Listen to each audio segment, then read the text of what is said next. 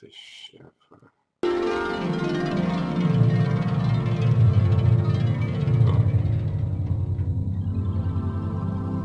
Let's have a party in heaven. Let's have a party in heaven. And let the angels sing. And dance around. And sing hallelujah for God. And for the creation of our souls that's there.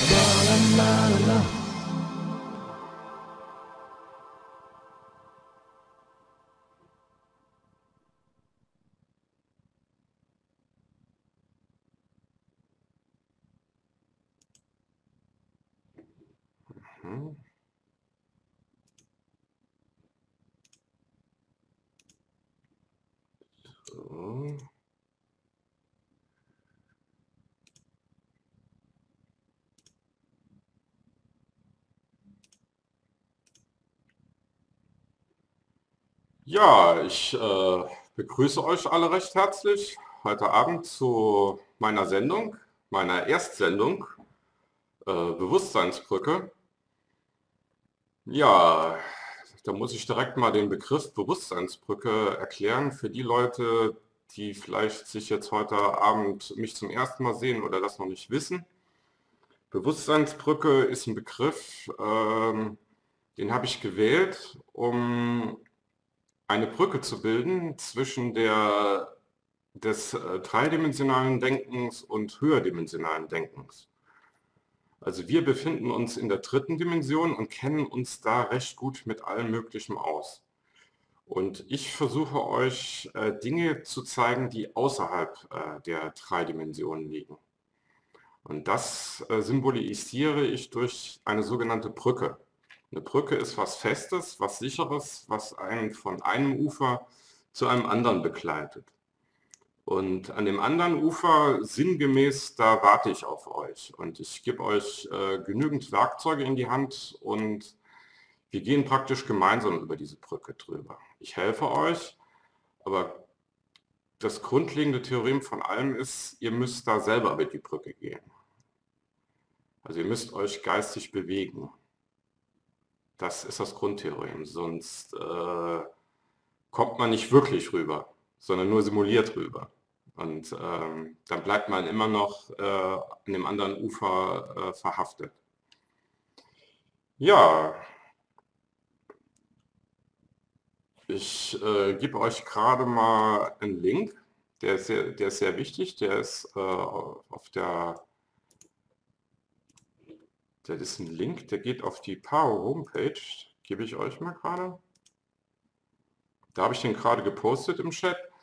Das ist der Link praktisch äh, auf die Erstseite, die ich generiert habe. Ich habe also mehrere Seiten auf ParoWeb äh, generiert. Äh, die, die, drehen sich alle um die Bewusstseinsbrücke. Und äh, der gesamte Vortrag fängt eben halt mit der Einleitung an.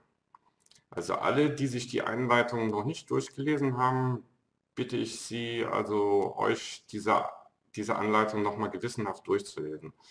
Weil da, stehen, da steht wirklich viel Essentielles drin, auch vieles, was man berücksichtigen sollte. Da ist also viel Gehirnschmalz steht da. Ist aber so einfach wie möglich gehalten, braucht keine Angst zu haben. Ich halte alles immer so einfach wie möglich. Das ist äh, das Wichtigste. Ja, da könnt ihr das nochmal alles nachlesen. Und viel aus der Einleitung haben wir ja schon äh, bei Mensch zu Mensch mit dem äh, Axel Leisung gemacht. Da habe ich ja auch schon viel vorgestellt. Da möchte ich euch jetzt nicht nochmal nerven damit. Dann gehe ich zum nächsten über. Dann gebe ich euch schon den nächsten Link. Das ist dann praktisch das, was wir heute Abend machen. So, ich poste den gerade.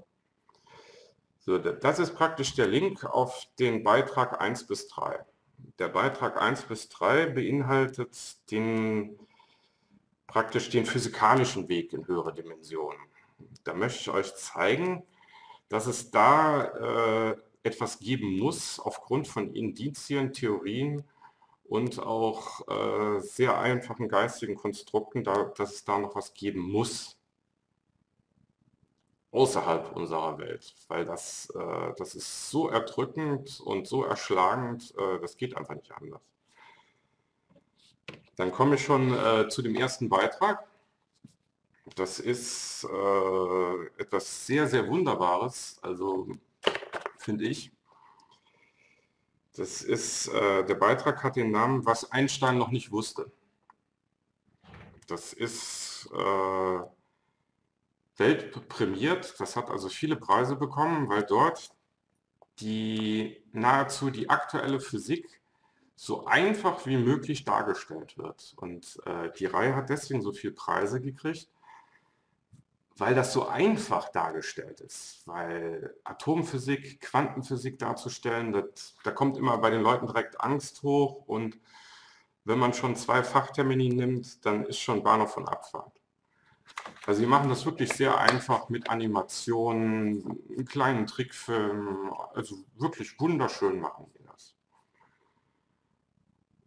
Ja, und das ist wie gesagt in drei Teile aufgeteilt und äh, ja, da wird praktisch die Grundlagen der Physik besprochen, die Grundlagen der Atomphysik und äh, auch äh, wie man zum Mikrokosmos, also alles, was in Atomen stattfindet, äh, die Kräfte dort, äh, daraus baut sich ja auch der Makrokosmos auf. Also so wie im Kleinen, so im Großen.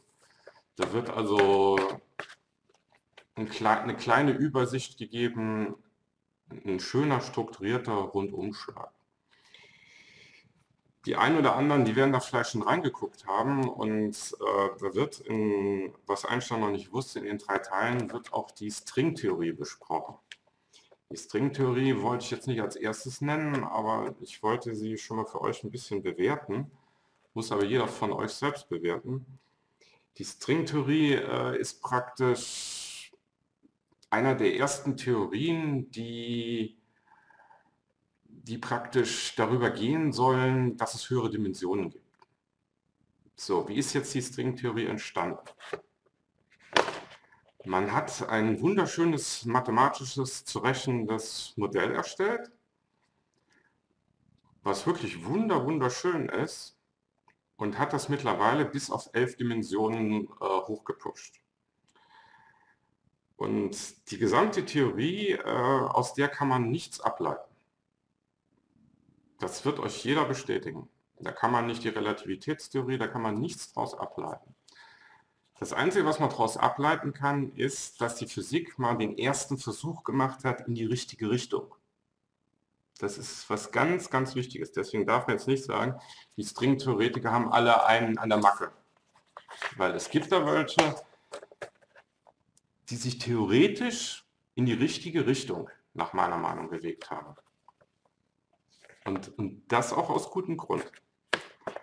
Aber da es keine so einfach greifbaren Theorien gibt, das ist immer so am Anfang, hat man eben halt mal ein schönes mathematisches Modell gemacht. Diese Modelle sind recht verbreitet in der Physik, stimmen aber meistens überhaupt nicht, nur sehr selten und in ganz wenigen Details mit der Wirklichkeit überein. Deswegen sind sie auch Modelle. Wird auch äh, wie oft äh, auch teilweise als Wahrheit dargestellt, als wäre das so. Darauf komme ich aber im Einzelnen nochmal zurück und gebe auch für Beispiele, damit ihr da nicht so einfach auf dem Holzweg landet. Ja, dann komme ich schon äh, zu dem ersten Teil. Der heißt, was Einstein noch nicht wusste, das Rätsel des Universums, Teil 1. Äh, da habe ich hier äh, einen kleinen Ausschnitt vorbereitet. Ich kann leider nur einen Ausschnitt zeigen und euch nicht mehr, aber das Grundlegendste wird dort euch gezeigt. Und es geht praktisch um die Grundkräfte der Natur, also die physikalischen Grundkräfte. Da gibt es vier Grundkräfte und aus denen setzt sich soweit alles zusammen. Es gibt noch ein bisschen was mehr, aber ich will jetzt nicht so viel vorwegnehmen. Aber im Grunde genommen gibt es vier große Grundkräfte. Und das äh, zeige ich jetzt euch in einem Film. Ich hole den jetzt mal rein. Da könnt ihr euch äh, die Animation über die vier Grundkräfte ansehen. So. so. In den 30er Jahren geriet Einsteins Suche nach Vereinigung der Naturkräfte ins Stolpern, während Quantenphysiker die Geheimnisse des Atoms entschlüsselten. Die Physiker entdeckten, dass Gravitation und Elektromagnetismus nicht die einzigen Kräfte im Universum sind. Als sie die Struktur des Atoms genauer untersuchten, entdeckten sie noch zwei weitere. Die eine wird starke Kernkraft genannt und bindet in den Atomkernen Protonen und Neutronen wie ein Superkleber aneinander. Die andere heißt schwache Kernkraft. Durch sie können sich Neutronen in Protonen umwandeln, wobei Radioaktivität entsteht. Auf der Quantenebene spielt die Schwerkraft keine Rolle. Hier wird sie völlig vom Elektromagnetismus und den zwei neuen Naturkräften dominiert. Now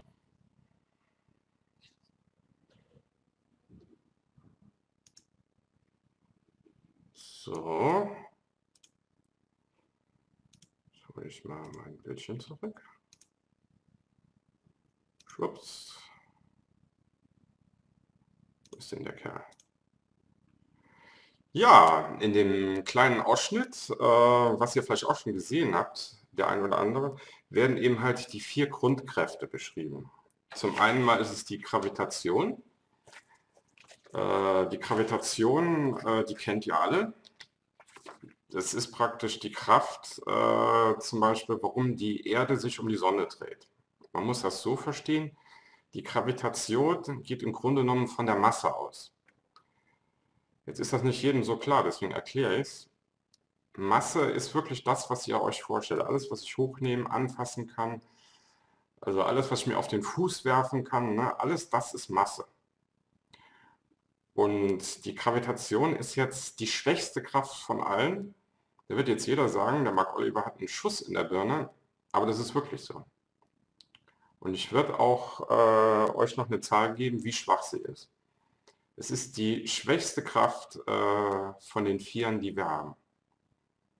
Es ist zwar eine sehr auffällige Kraft und eine sehr wichtige Kraft, aber Tatsache ist, dass es die schwächste Kraft ist.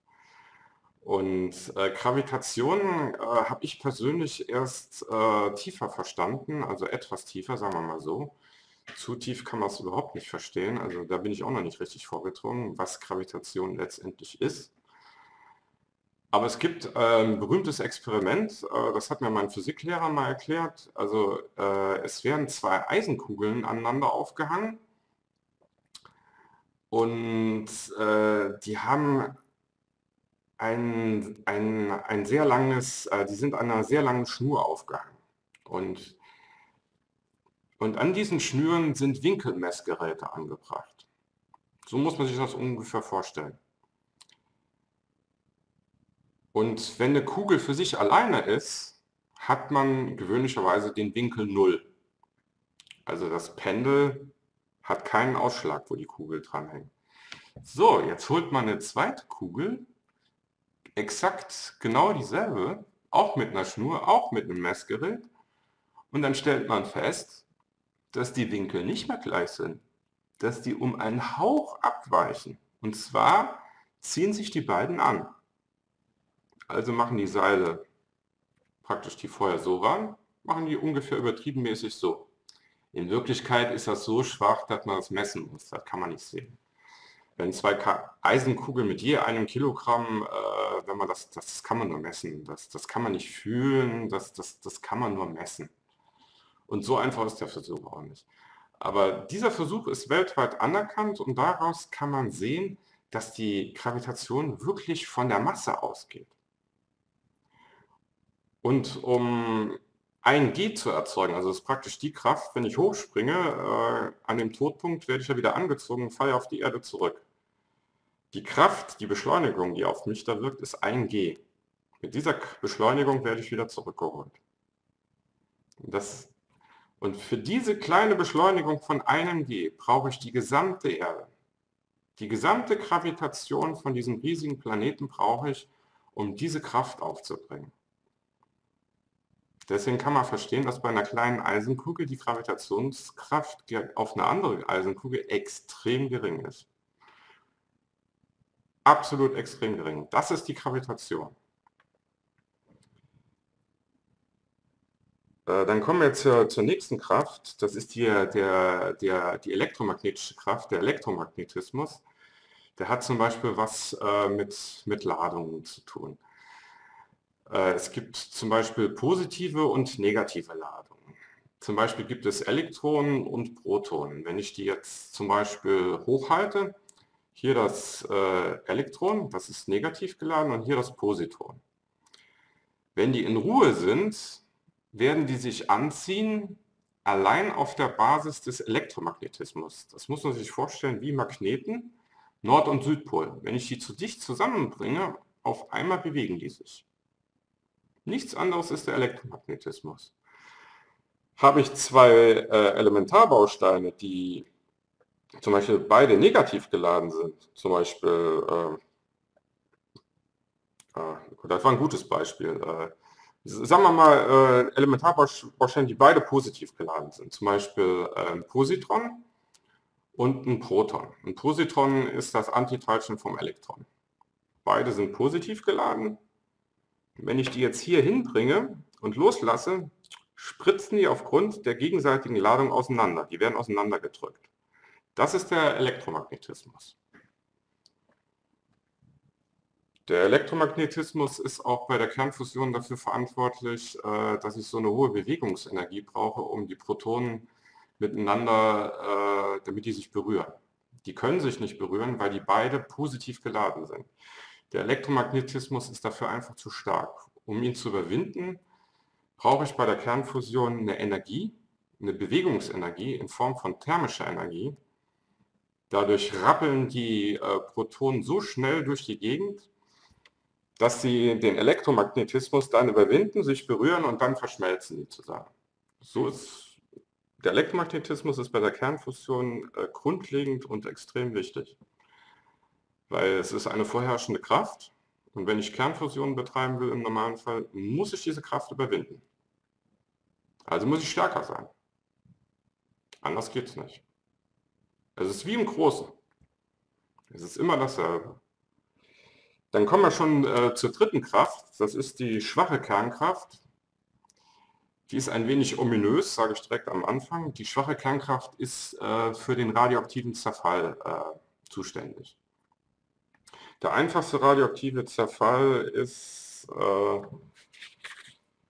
ist, äh, ist der Beta-Plus-Zerfall. Ein Proton im Kern eines x-beliebigen, äh, sagen wir mal, radioaktiven Elements äh, also man nimmt das Proton und durch die schwache Kernkraft kann es äh, bei einer gewissen Halbwertszeit, passiert es dann, dass unter Emittierung eines äh, Positrons und eines Elektronneutrinos wandelt sich das Proton um in ein Neutron. Das ist der Beta-Plus-Zerfall. Also das Proton wandelt sich um in ein Neutron unter Emittierung von zwei Elementarteilchen.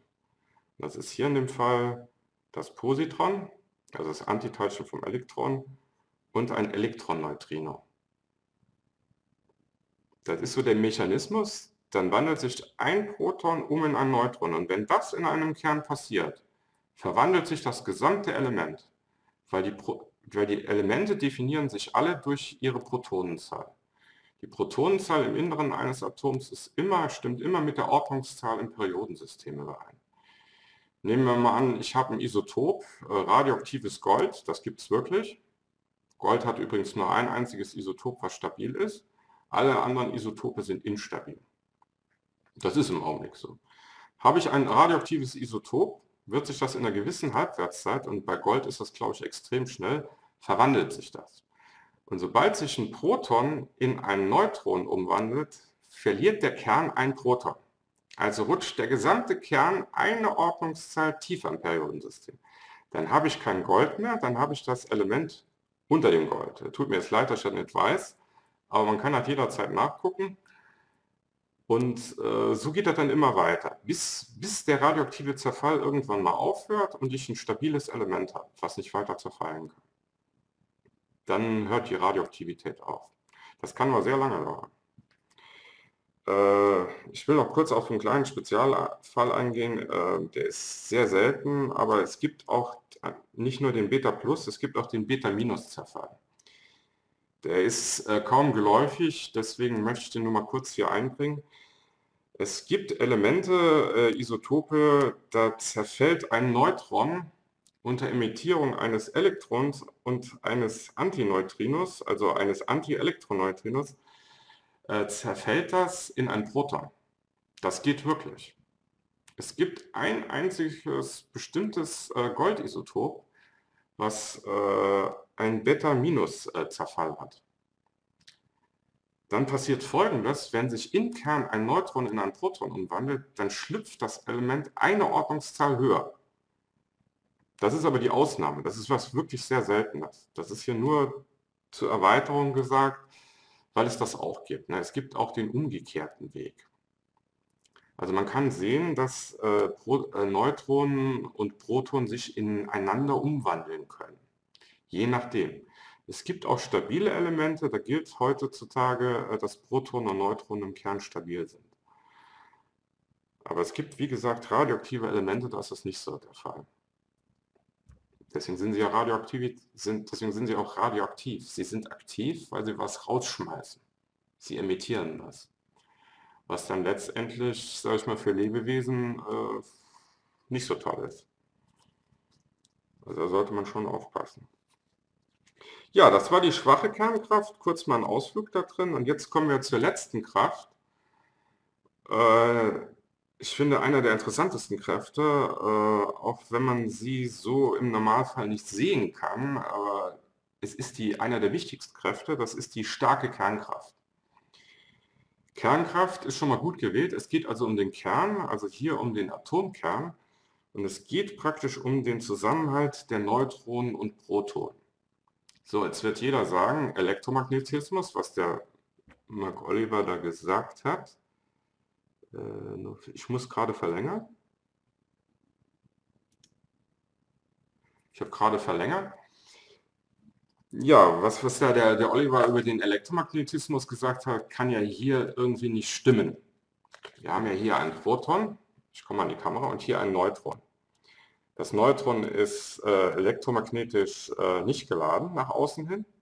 Es ist neutral. Und hier ist das Proton. Das ist positiv geladen. Wenn ich hier keine Ladung habe und hier positive Ladung, dürfte im Normalfall nichts passieren. Passiert auch nicht. Und da kommt jetzt die starke Kernkraft äh, ins Spiel. Sie wirkt auf kleinstem Raum. Man muss sich das so vorstellen, man muss die beiden zusammenbringen. Und so sieht es auch im Atomkern aus. Sie sind sehr dicht zusammen und nur auf dieser kurzen Distanz, auf einer wirklich extrem kurzen Tan Distanz, es sind Femtometer oder Teil eines Femtometers, also winzige Einheiten eines Meters. Es ist so winzig, das ist unglaublich. Und da wirkt die starke Kernkraft. Genau da. Auf dieser kleinen Strecke. Und die wirkt so, dass sich die Neutronen und Protonen dann anziehen. Die sind dann fest zusammen. Praktisch wie ein Magnet. Aber es ist nicht der Elektromagnetismus, sondern die starke Kernkraft. Und das ist so wichtig, weil diese Kraft in der Physik die größte Kraft ist im ganzen Universum. Damit ihr mal ungefähr die Vorstellung bekommt, äh, wie stark die Kraft ist, vergleiche ich einfach den stärksten mit dem schwächsten. Das ist hier die Gravitation mit der starken Kernkraft. Wie ihr wisst, ist die Gravitation die schwächste Kraft. Und, äh, um, und äh, die starke Kernkraft ist, sage und schreibe, 41 Zehnerpotenzen. Zehnerpotenzen, das bedeutet 10 hoch 41 mal stärker als die Gravitation. Wenn ich 10 mal stärker bin, bedeutet das 10 hoch 1, dann bin ich 10 mal stärker. 10 hoch 2 bedeutet 10 mal 10 ist 100, dann bin ich 100 mal stärker. 10 hoch 3, dann bin ich 10 mal 10 mal 10, dann bin ich 1000 mal stärker tausendmal stärker reicht mir schon absolut im Normalfall. Also das reißt sowieso alles auseinander. Aber diese Kraft ist 41 Zehnerpotenzen stärker. Das, das muss man sich mal reinziehen. Das muss ich einfach mal setzen. So, das, das war praktisch äh, einer der wichtigsten Teile äh, aus, aus dem ersten Teil, äh, was Einstein noch nicht wusste. Und äh, wir kommen jetzt praktisch, springen wir zu dem, praktisch zu dem, äh, wohin springen wir? Ich glaube zum letzten Teil. Nein, hier steht's. Wir springen äh, zu Teil 2, das vibrierende Universum. Und zwar den Unterteil 4 von 4. Da muss ich aber vorher was sagen, bevor ich den Film einspiele weil den sonst viele nicht, nicht so einfach verstehen werden. Das wäre jetzt gemein, irgendwie euch da jetzt, äh, sage ich mal, einfach so in, äh, da reinzuschubsen. Weil das ist nicht so einfach zu verstehen. In der Physik gibt es äh, etwa 40 sogenannte Naturkonstanten.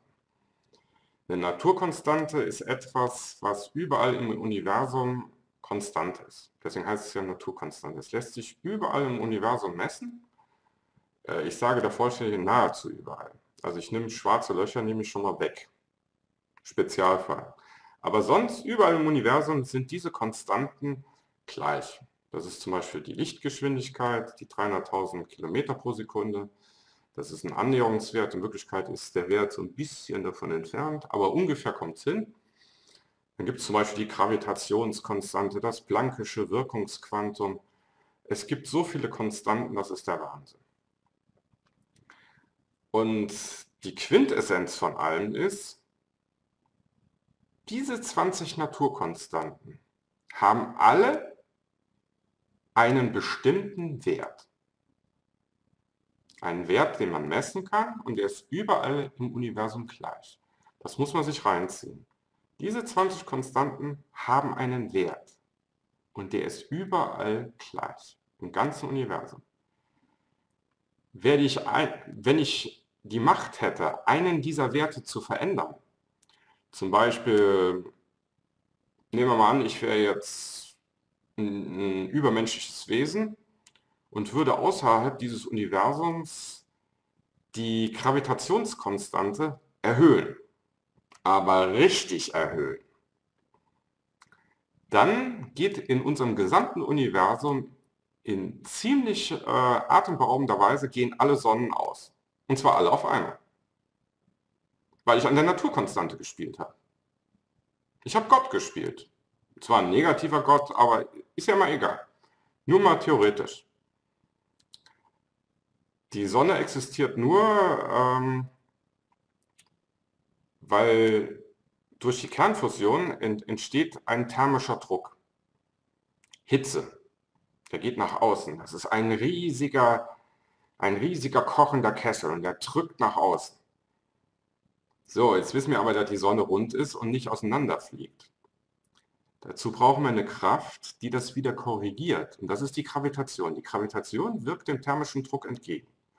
Also geht die Sonne nicht immer weiter auseinander, sondern geht wie bei einer Gleichung auf eine bestimmte Größe und größer kann sie im Augenblick nicht werden. Weil die Gravitation zieht sie zusammen mit einer gewissen Kraft und der, die Kernfusion erzeugt einen gewissen thermischen Druck. Und das Gleichgewicht von, von diesem Druck und dieser Anziehung ist praktisch genau die Größe unserer Sonne. Es ist ein Gleichgewichtszustand, nichts anderes. Ein Gleichgewicht. Ein harmonisches Gleichgewicht. Solange sich die Energie in der Sonne, der thermische Druck, nicht weiter erhöht, kann sie auch nicht größer werden. Irgendwann wird sie größer, weil sich der thermische Druck erhöhen wird. Aber davon sind wir noch weit weg. Das ist zum Beispiel äh, die Sache mit den Naturkonstanten. Es ist wirklich im, im ganzen Universum gleich. Und verändere ich einen dieser Werte, dann ändert sich auch der Charakter unseres Universums.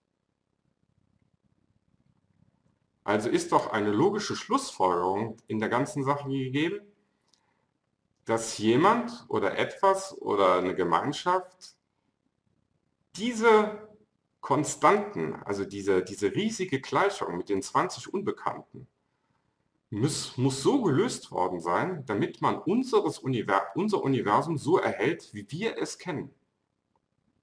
Wenn ich nur eine Konstante geringfügig anders einstelle, dann, dann ist die Kiste vorbei. Dann wird es auch ziemlich kalt schnell auf der Erde. Dann, dann bricht alles zusammen und alles ist vorbei. Und ich zeige euch jetzt einfach mal den Film mit dem Hintergrundwissen, was ich euch gegeben habe. Und schaut einfach mal zu. Da wird praktisch so eine Maschine simuliert außerhalb des Universums, an der die Konstanten eingestellt werden. Einfach mal ohne Bewertung zuschauen und mal inhalieren. Ich hole das gerade mal. So, den Content.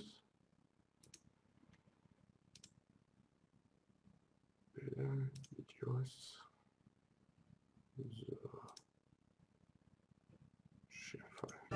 Und dies könnte der Schlüssel zu einem der größten Rätsel der Natur sein.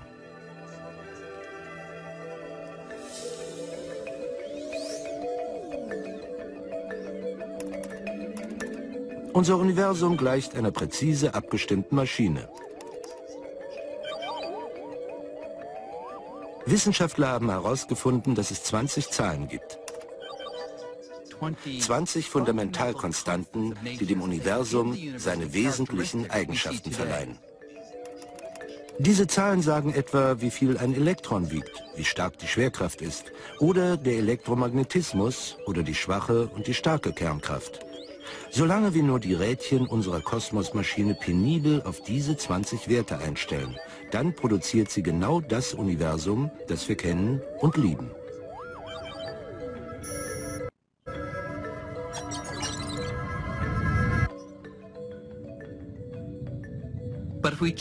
Aber wenn wir die Einstellungen dieser Maschine auch nur minimal ändern, dann hat das dramatische Folgen. Wenn ich etwa die elektromagnetische Kraft verstärke, dann stoßen sich die Atome gegenseitig stärker ab und das Nuklearfeuer der Sterne bricht zusammen. alle Sterne, auch unsere Sonne, verlöschen. Und das uns bekannte Universum verschwindet.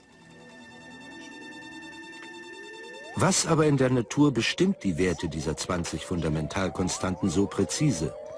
Nun, die Antwort könnte in den Zusatzdimensionen der Stringtheorie liegen. Die winzigen aufgerollten sechsdimensionalen Formen, wie sie die Stringtheorie vorhersagt, lassen einen Faden in genau der Weise schwingen, dass das entsteht, was wir als Photon sehen. Und ein anderer String schwingt so, dass ein Elektron entsteht. Nach der Stringtheorie sind es also diese winzigen Formen in den Extradimensionen des Raumes, die alle Naturkonstanten festlegen und dafür sorgen, dass sich die kosmische Symphonie der Strings nicht verstimmt. So, ich hole das wieder zurück. Das war das.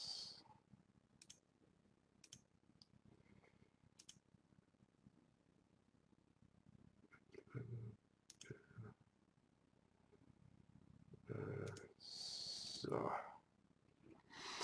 Ja, das war die, äh, das, das war ähm, jetzt äh, der im Augenblick der einer der, der wichtigsten Beiträge im Augenblick, weil man praktisch die Möglichkeit hier erhält, zu sehen, dass das Universum bewusst so konstruiert worden ist, so wie wir es kennen.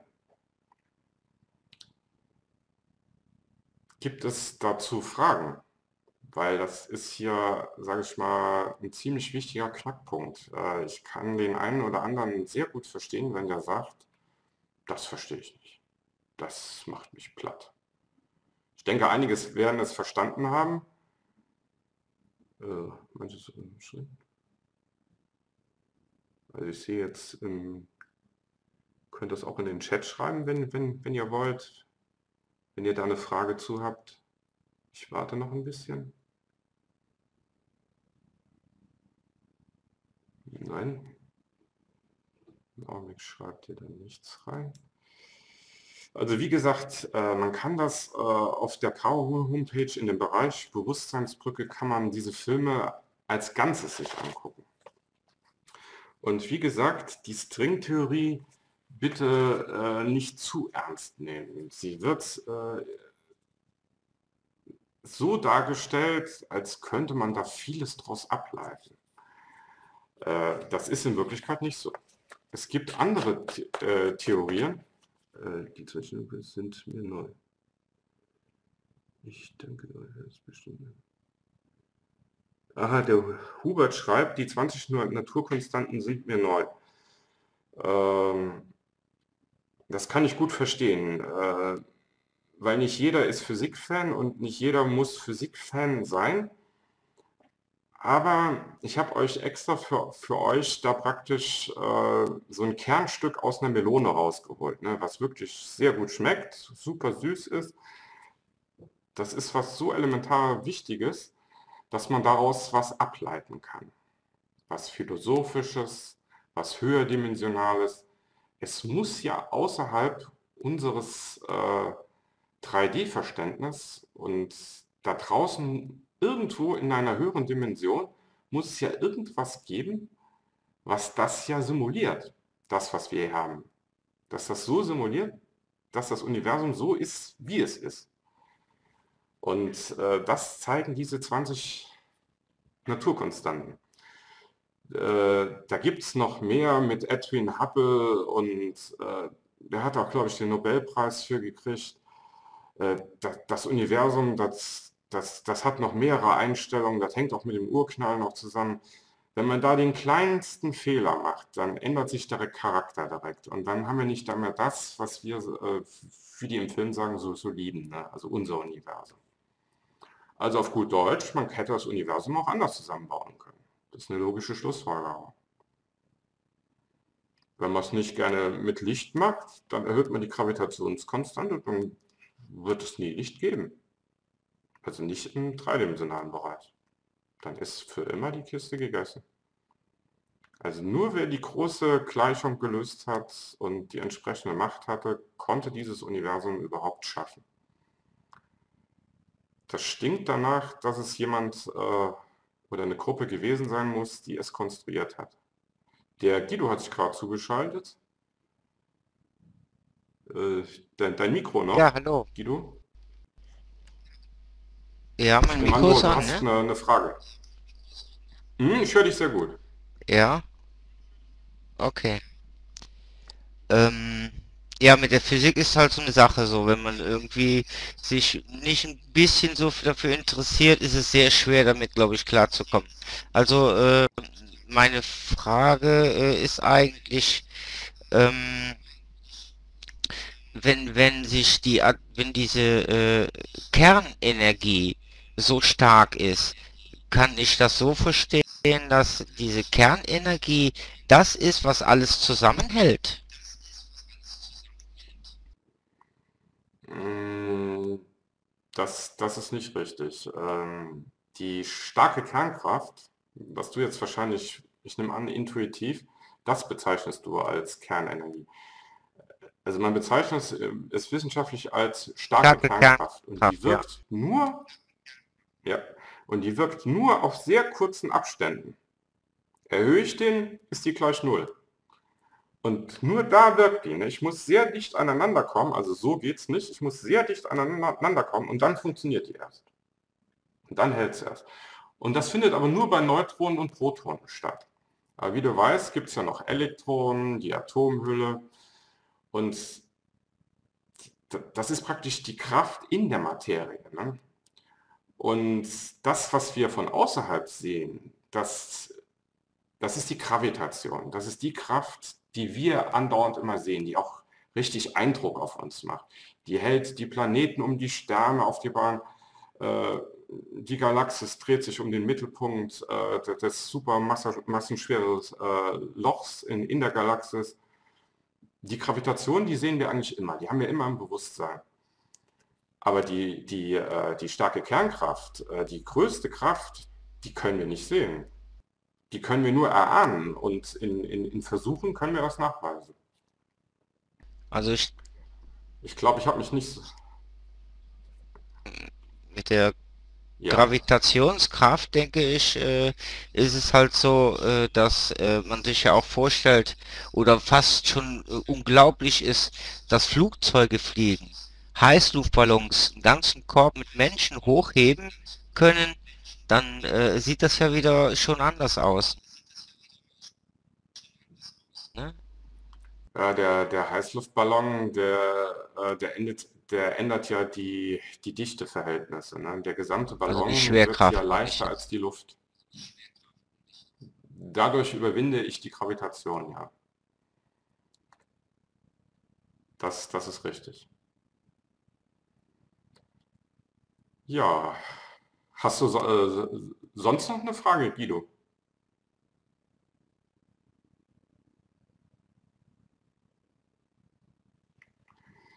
Ja, dann hat hier der Michael gesch geschrieben, also Fragen, das mit den Konstanten. Ich, ich habe eine E-Mail-Adresse da, die, die, die kannst du mir schicken. Die steht immer unter den, den Beiträgen auf der Power Homepage. Da steht immer die E-Mail-Adresse. Also wenn ihr da Fragen habt, könnt ihr mir auch gerne eine E-Mail schicken. Vieles kann man in Wikipedia nachsehen, aber so spezielle Sachen, die ich denke, da könnt ihr mich einfach mal fragen. Ich glaube, dass das ist dann am schnellsten. Ja, der Michael schreibt, dass mit den Konstanten wird schön erklärt, zum Beispiel in dem Buch von Erwin Laszlo. Zu Hause im Universum. Das kenne ich jetzt nicht. Aber ich schreibe mir das jetzt gerne mal auf. Weil man das irgendwie auch mal verwenden kann. Das ist auch wichtig. Universum. So, das habe ich. Was macht der da? Ah, das ist was anderes. So. Ja, dann kommen wir schon äh, zum nächsten Beitrag. Das ist äh, die berühmte Quantenphysik. werde ich so einfach wie möglich erklären. Das verspreche ich euch. Äh, der Grund bei der Quantenphysik muss man erstmal erklären, was ein Quant ist. Würde jedes Kind auffragen, was ist ein Quant? Was willst du von mir mit, Quantenphysik? Äh, was ist ein Quant? Wups steht das Kind da und fragt, was ist ein Quant? Ja, man hat jetzt zum Beispiel äh, einen Lichtstrahl, muss man sich einfach vorstellen. Und jetzt geht man hin und ist ziemlich gemein oder auch positiv eingestellt und neugierig und versucht sich jetzt vorzustellen, dass ich den Lichtstrahl mir immer kleinere Häppchen angucke davon. Also ich unterteile ihn mir und gucke wie in einem, wie in einem Mikroskop in immer kleinere Bereiche.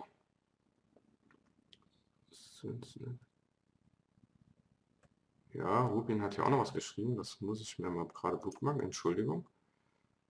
Öffnen. Äh, das hat mir Rubin gerade geschickt. Das wäre jetzt äh, nicht so schön, wenn ich das jetzt übergehe. Ich habe mir das von Rubin gerade mal gebookmarkt, dann kann ich mir das nach der Sendung ansehen. Äh, ach so, ja, super, danke Rubin. Ich glaube, ich habe es verstanden. Ja, ich, ich, ich lese das dann nach. Und äh, wenn ich dann in dem Lichtstrahl danach gucke wie ein Mikroskop, dann sehe ich mir, wenn ich die Vergrößerung immer weiter hochdrehe, sehe ich mir immer kleinere Teile des Lichtstrahls an. Was ist ein Lichtstrahl? Ein Lichtstrahl ist eine Ansammlung von Photonen. Photonen sind Elementarteilchen, äh, die haben keine Masse, die haben aber Energie. E gleich h mal f. E ist die Energie H ist das Planck'sche Wirkungsquantum und F ist die Frequenz. Das bedeutet, dass die Energie eines Photons nur abhängig ist von seiner Frequenz, von seiner Schwingung. Je höher es schwingt, desto mehr Energie hat es. Das ist das Einzige, was man vielleicht noch am Rande wissen muss. Es ist wirklich einfach. Das Planck'sche Wirkungsquantum ist nur eine Konstante. Die steht da einfach nur. Und die kann ich ja, wie ihr wisst, ja von hier aus nicht verändern. Aber die Schwingung eines Photons kann ich schon verändern. Ich kann ihm sehr viel Energie geben. Ich kann ihm so viel Energie geben, dass es praktisch äh, ein Elektron auslacht und zur Seite schippelt. Dann braucht es aber sehr viel Energie. Unter normalen Umständen kann, kann ein Photon das nicht. Und dieser Energiestrahl, wie gesagt, wenn ich den immer weiter verkleinere, habe ich le letztendlich die kleinste Menge, die ich kriegen kann, ist ein einzelnes Photon. Dann habe ich die letzte Vergrößerung. Mehr weiß die äh, Wissenschaft noch nicht. Und dann habe ich das letzte Paket, aus dem der Lichtstrahl zusammengesetzt ist. Das allerletzte Paket, ein einzelnes Photon. Und das nennen die Physiker ein Quant. Sie haben das verquantelt, das bedeutet, Sie gehen immer tiefer, immer tiefer und dann haben Sie eine Menge erreicht, was nicht teilbar ist. Sie können das letzte Photon nicht mehr teilen. Es ist die letzte Menge, die letzte Größe. Und das ist Quant. Und wenn es um Quantenphysik geht, dann betrachtet man immer dieses einzelne Teil. Dieses einzelne Quant. Das ist ein Fachtermini in sich, hat aber nur die Bedeutung, dass ich es einzeln betrachte, dass ich mein Bewusstsein und meine Experimente und die Resultate, die rausziehen, lenke ich bewusst auf ein einzelnes Quant. Und das ist bei einem Elektronenstrahl genauso. Ich kann mir den Elektronenstrahl angucken, ich kann ihn äh, vergrößern, ich kann ihn unterteilen, ich kann immer kleiner gehen, aber irgendwann bin ich auf der kleinsten Ebene. Da habe ich nur noch ein Elektron und das kann ich nicht mehr verkleinern. Die Wissenschaft äh, ist heute äh, an dem Punkt, dass das Elektron, äh, man kann es nicht weiter teilen. Es gilt als echtes Elementarteilchen im Augenblick noch. Es ist sehr, sehr klein. Ich glaube, ein 100, ein, ein 1 durch äh, 1836 eines Protons ist die Masse eines Elektrons. Also es ist 1836 mal kleiner. Dann kann man sich vorstellen, wie klein ein Elektron zu einem Proton ist. Das ist winzig. dann wisst ihr, was die Quantenphysik eigentlich meint. Sie meint immer so kleine Teilchen, Elementarteilchen, die, ich will jetzt nicht sagen, nicht mehr teilbar sind, aber man ist an der kleinsten Menge angekommen. Und so kann man es im Augenblick sogar verallgemeinern. Und um, um das Verhalten solcher Teilchen, ne, ich lenke das Bewusstsein jetzt bewusst auf die Quanten, auf das kleine auf die kleinste Menge dieser Teilchen, also ein Photon und ein Elektron. Und dann sind wir in der sogenannten Quantenphysik. In der Quantenphysik hört die normale Physik, so wie wir sie kennen, die Newtonsche Physik, das Bohrsche Atommodell, also alles, was wir vom Makrobereich kennen, hört dort auf zu existieren. Man hat da vollkommen andere Gesetzmäßigkeiten. Die Quantenphysik ist noch nicht so alt, die stammt, glaube ich, aus den 20er, 30er Jahren. Da hat die so ihre Kinderschuhe angeheftet. Einstein war jetzt nicht so der Fan davon. Hat er immer gesagt, äh, Gott würfelt nicht. Sein berühmter Satz. Und äh, man kann praktisch sagen, äh, alles, äh, also ungefähr, es gibt immer Ausnahmen, ne? dazu werde ich auch kommen, alles unterhalb der, der Atomebene, also, also ab Atomebene und tiefer ist praktisch alles Quantenphysik. Alles. Dort kann man mit, mit, äh, mit normalen physikalischen Formeln kommt man nicht mehr zurecht. Da funktioniert nichts mehr, was wir kennen. Rein gar nichts. Und dann sind wir schon an dem Punkt äh, des berühmtesten Experiments zur Quantenphysik. Also ich hoffe, dass ihr jetzt vor dem Namen Quantenphysik keine Angst mehr habt, weil es, es ist wirklich was sehr, sehr Einfaches. Dann kommen wir zu, zu dem Standardexperiment, dem sogenannten Doppelspaltexperiment.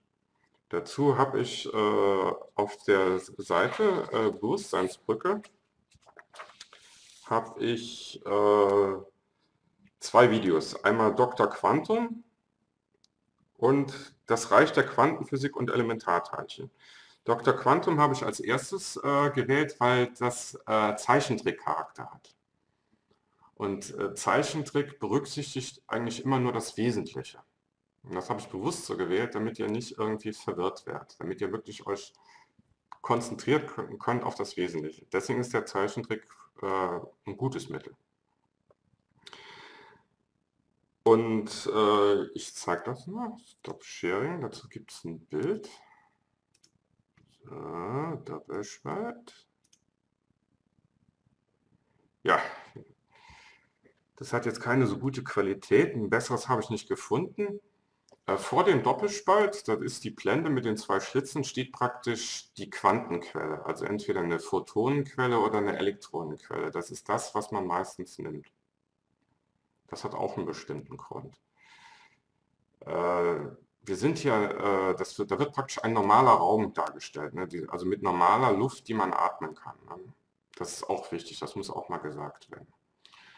Und äh, nehmen wir mal an, man würde jetzt äh, vor dem Doppelspalt mit so einer Schleuder oder mit so einer, sag ich mal, mit so, einem, mit so einer Kanone andauernd so kleine Kugeln abfeuern auf diesen Doppelspalt dann würde man hint, hinter dem Doppelspalt erwarten, dass diese kleinen Kugeln, nehmen wir mal an, da wäre jetzt Farbe drin, dass da so zwei kleine Striche hinten auftauchen. Weil ich habe ja vorne zwei Striche, das ist ja wie eine Form und ich schieße die Kugeln ja da durch und sie können ja nur durch diesen Spalt durch. Und dann müssten sich durch Strahlengeometrie, müssten sich hinten auch so zwei Schlitze ergeben. Und jetzt kommen wir zur Quantenphysik. Das ist, glaube ich, in der Physik nur per Zufall entdeckt worden, weil man einen Versuch aus Versehen hat laufen lassen und ist nach ein paar Stunden wiedergekommen, hat die Fotoplatte analysiert und hat dort ein Muster entdeckt, was gar nicht sein darf. Also wenn man den Versuch mit Elektronen macht, mit einer Elektronenkanone, dann kriegt man nicht diese zwei Streifen hinten, sondern man kriegt mehrere Streifen in bestimmten Abständen.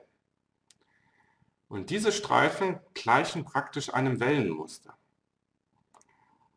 Man kann das in, den, in, in, in den Filmen, die ich dargestellt habe, wird auch eine Animation gezeigt mit einem Wellenmuster. Also eine richtige Wasserwelle, die auf den Doppelspalt zugeht und sich hinter dem Doppelspalt weiterläuft, sich überlagert. Und da bilden sich exakt dasselbe Muster. Es gibt ein Hauptmaximum, daneben gibt es Striche, die kleiner sind, dünner, und so geht das immer weiter nach außen hin. Es entsteht ein Strichmuster, was eigentlich nicht sein darf. Mit normaler Materie, wenn ich zum Beispiel Farbkugeln dadurch schieße, passiert das nicht. Da kriege ich meine zwei Streifen und das war's. Aber hier bin ich in der Quantenphysik. Ich nehme Elektronen dafür. Jetzt zum Beispiel, es geht, es geht auch mit Photonen, es geht auch noch mit anderen Sachen. Und da entsteht auf einmal der Wellencharakter hinten. Ich kriege ein Bild, ein Muster hinten mit mehreren Linien, was nicht sein darf. Aber ich weiß aus der Wellentheorie, dass wenn ich eine Wasserwelle auf den Doppelspalt löse, dass ich dasselbe Muster kriege. Und dieselben Formeln dazu passen auch. Deswegen haben die Elektronen, die ich darauf abgeschossen habe, einen sogenannten Wellencharakter. Sie haben nicht nur einen Massecharakter, wie so eine kleine Farbkugel oder so, sie haben auch Wellencharakter. Das hätten sie nicht haben dürfen, laut Physik. Aber sie hatten es doch. Und da waren die Physiker erstmal verblüfft. Und damit war das Tor zur Quantenphysik geöffnet. Und jetzt kommt das wirklich Verblüffendste von allem. Das ist weltweit anerkannt. Genauso wie das, was ich gerade erzählt habe, ist das weltweit anerkannt, dieser Versuch. Das ist der grundlegendste Versuch zur Quantenphysik.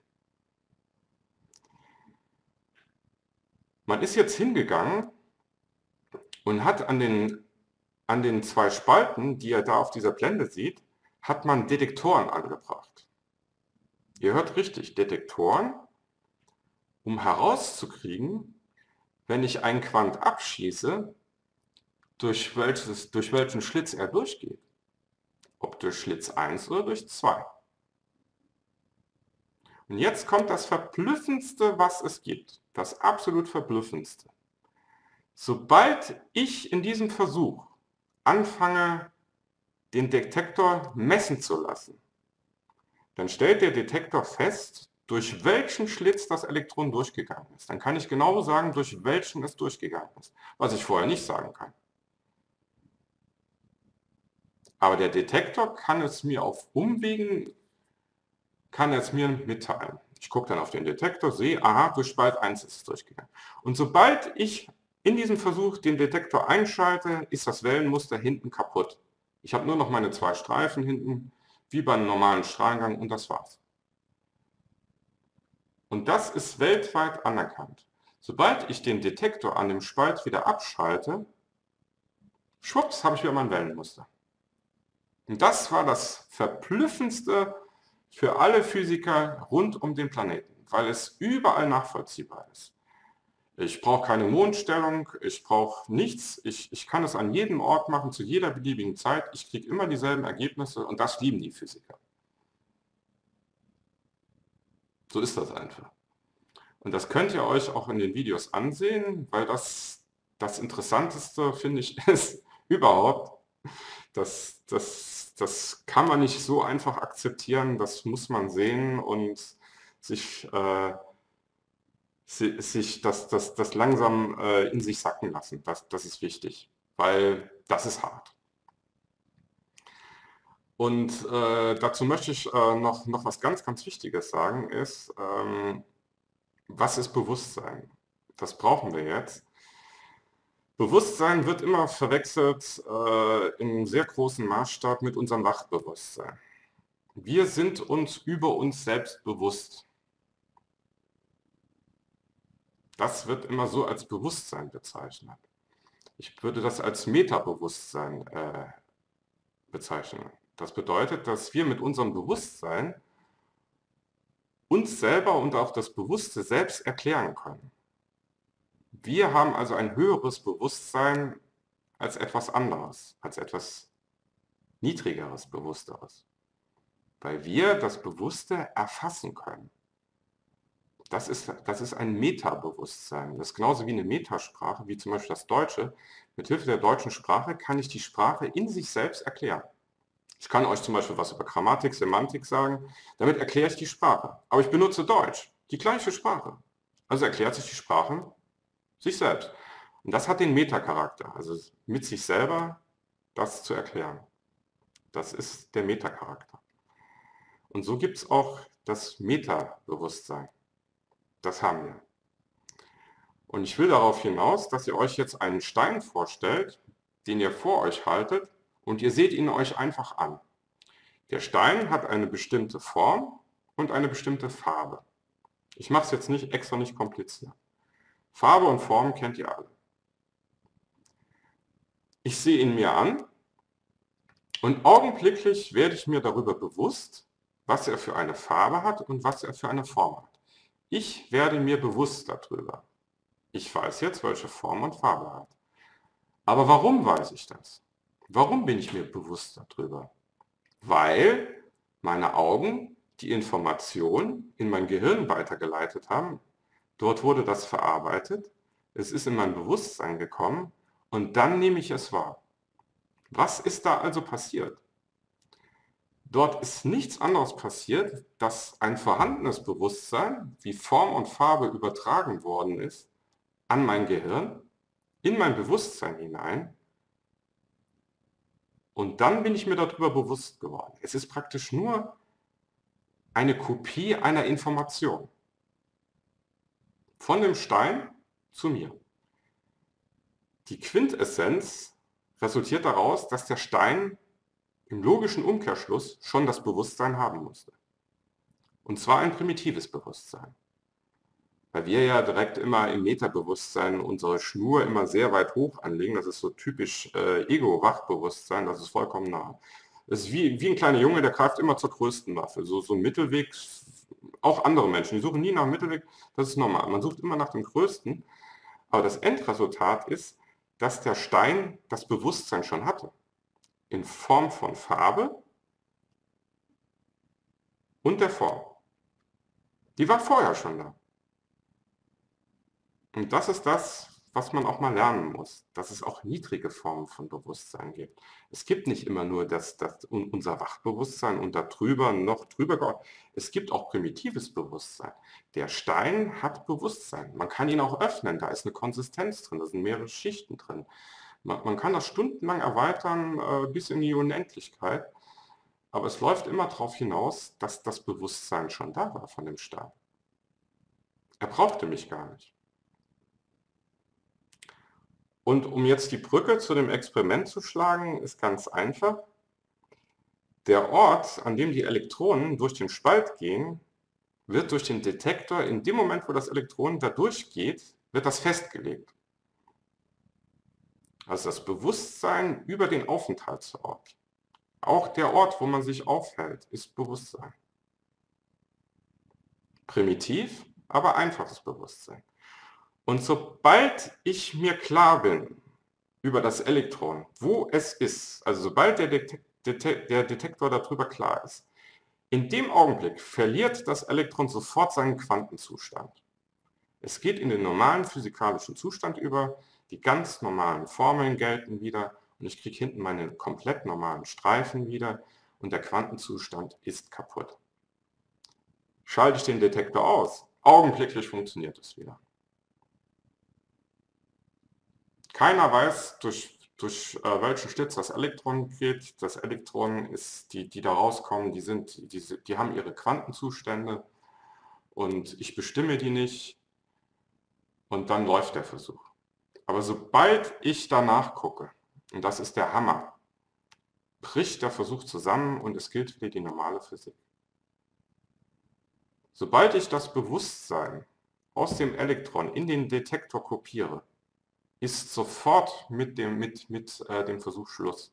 Dann funktioniert er nur noch so, wie wir es normalerweise erwartet haben. Das muss man so ein bisschen auf sich sacken lassen. In den Filmen, die dort dargestellt werden, wird das auch alles noch, noch mal erklärt.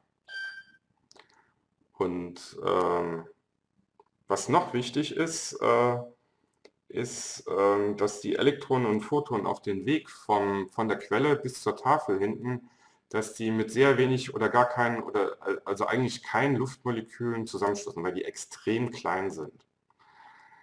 Das ist ganz einfach so. Es gibt, äh, ein paar von euch wissen das, es gibt ein sogenanntes C60-Molekül. C steht für Kohlenstoff. Kohlenstoff ist normalerweise kommt das, glaube ich, elementar oder im Verbund äh, in, in so einem Kristallgitter vor. Aber es gibt tatsächlich ein Molekül, das sieht aus wie ein Fußball und das besteht aus 60 Kohlenstoffatomen. Also ein, ein ziemlich großes Molekül. Und das gibt es wirklich. Es gibt sogar Firmen, bei denen kann man das bestellen. Und man hat den Quantenversuch, diesen Doppelspalt, dieses Doppelspalt, hat man mit diesem C60-Molekül gemacht. Und da hat man festgestellt, dass es nicht funktioniert. Es ist schon zu groß und stößt zu oft mit den Luftmolekülen zusammen. Sobald man mit dem Luftmolekül zusammenstoßt, wird an der Stelle detektiert, wo das C60 ist. In dem Augenblick verliert es seinen Quantenzustand und dann bricht der Versuch auch zusammen. Ich darf keine störende Einflüsse haben. Habe ich den geringsten störenden Einfluss, ist der Versuch hinüber. Dann ist er wieder nur wie normale Physik. Und jetzt kommt das Entscheidende. Die Physiker sind hingegangen und haben äh, das in einem Vakuum gemacht, haben die Luft rausgezogen, haben ein Vakuum hergestellt, haben den gleichen Versuch gemacht und schwupps hat man hinten wieder sein Wellenmuster gehabt. Damit hat man bewiesen, dass man nicht unbedingt kleine Quanten braucht, sondern es geht nicht nur mit Elementarteilchen, sondern mit ganzen Molekülen. Das ist das, was die wenigsten Leute wissen. Es geht auch mit, einem, mit, mit, mit C60. Aber ich brauche ein Vakuum. Und dann habe ich genau dieselben Versuchsergebnisse. Das ist der Hammer. Ist aber so. Das war die Sache bis hierhin. Äh, dann wenn da keine Fragen sind, komme ich äh, zum nächsten Quantenversuch, der sogenannten Verschränkung. Die Verschränkung ist äh, der Hammer, ist äh, weltweit anerkannt, funktioniert wie folgt. Ich äh, nehme als Quantenquelle, da schreibt jemand, äh, der Hubert, äh, der Doppelspalt für, läuft also mit Licht. Ja, er, er läuft mit Licht, mit, mit, mit Photonen, ja. Äh, ich kann auch Elektronen nehmen, ist kein Problem. Und ich kann das im, im, im normalen Duftsauerstoff machen, ist überhaupt kein Problem. Weil die sehr klein sind, da klappt das noch. Aber mit C60 klappt das nicht mehr. Da, da, muss ich wirklich ein Vakuum haben. Da darf ich keine störenden Effekte haben, sonst verlieren die die Quanteneigenschaften und dann ist alles hinüber. Also wie gesagt, ich komme jetzt zur Verschränkung der Quantenphysik. Was ist Verschränkung? Es ist was ganz, ganz Wichtiges. Ich, ich nehme mal hier diesen Versuch und nehme praktisch nur die Quantenquelle, also praktisch eine, eine Lichtquelle. Es gibt mittlerweile Quellen, wo ich Photonen oder Elektronen einzeln abschießen kann. Und äh, ich nehme jetzt ein Photon, weil das passt im Augenblick besser, und schieße es auf ein ganz spezielles Prisma. In diesem Prisma wird, wird das Photon geteilt. Also das vorhandene Quant wird in zwei neue Quanten geteilt. Die vorhandene Energie des ersten Photons verteilt sich halbe halbe nach, nach E gleich h mal f auf das eine und das auf, auf das andere. Und diese beiden Photonen laufen dann weiter in, äh, auf ihrem Weg, auch über Spiegel und so, und sind immer noch, haben immer noch ihren Quantenzustand. Und jetzt kommt die, die sagenhafte Geschichte. Das ist absolut phänomenal.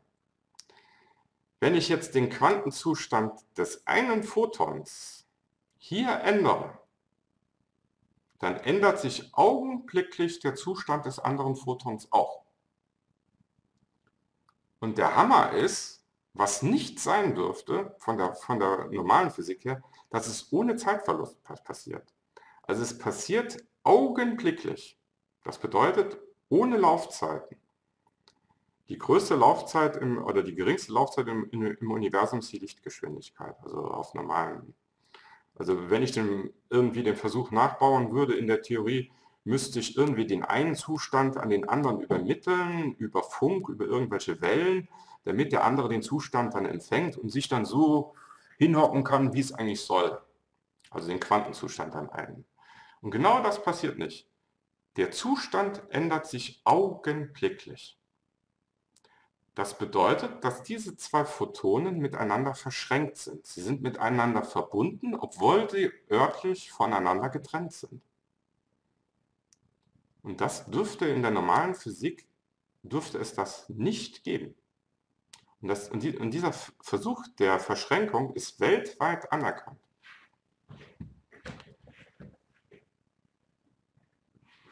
Dass die beiden Photonen miteinander verbunden sein müssen auf eine magische Art und Weise ist äh, sonnenklar.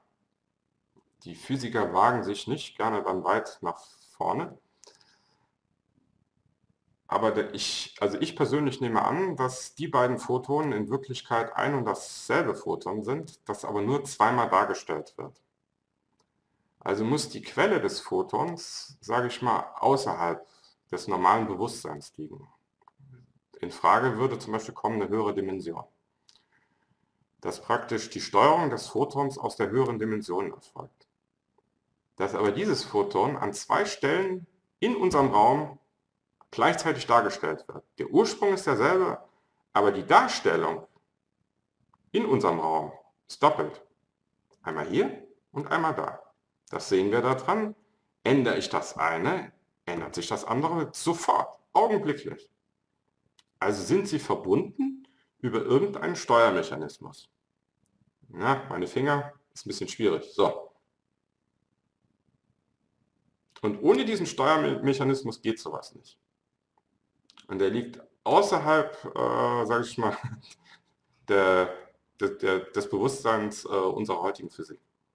Aber die Theorie, dass es da was geben muss, ist äh, wenn das mal so ein bisschen gesackt ist, äh, dürfte das den Leuten dann klar werden.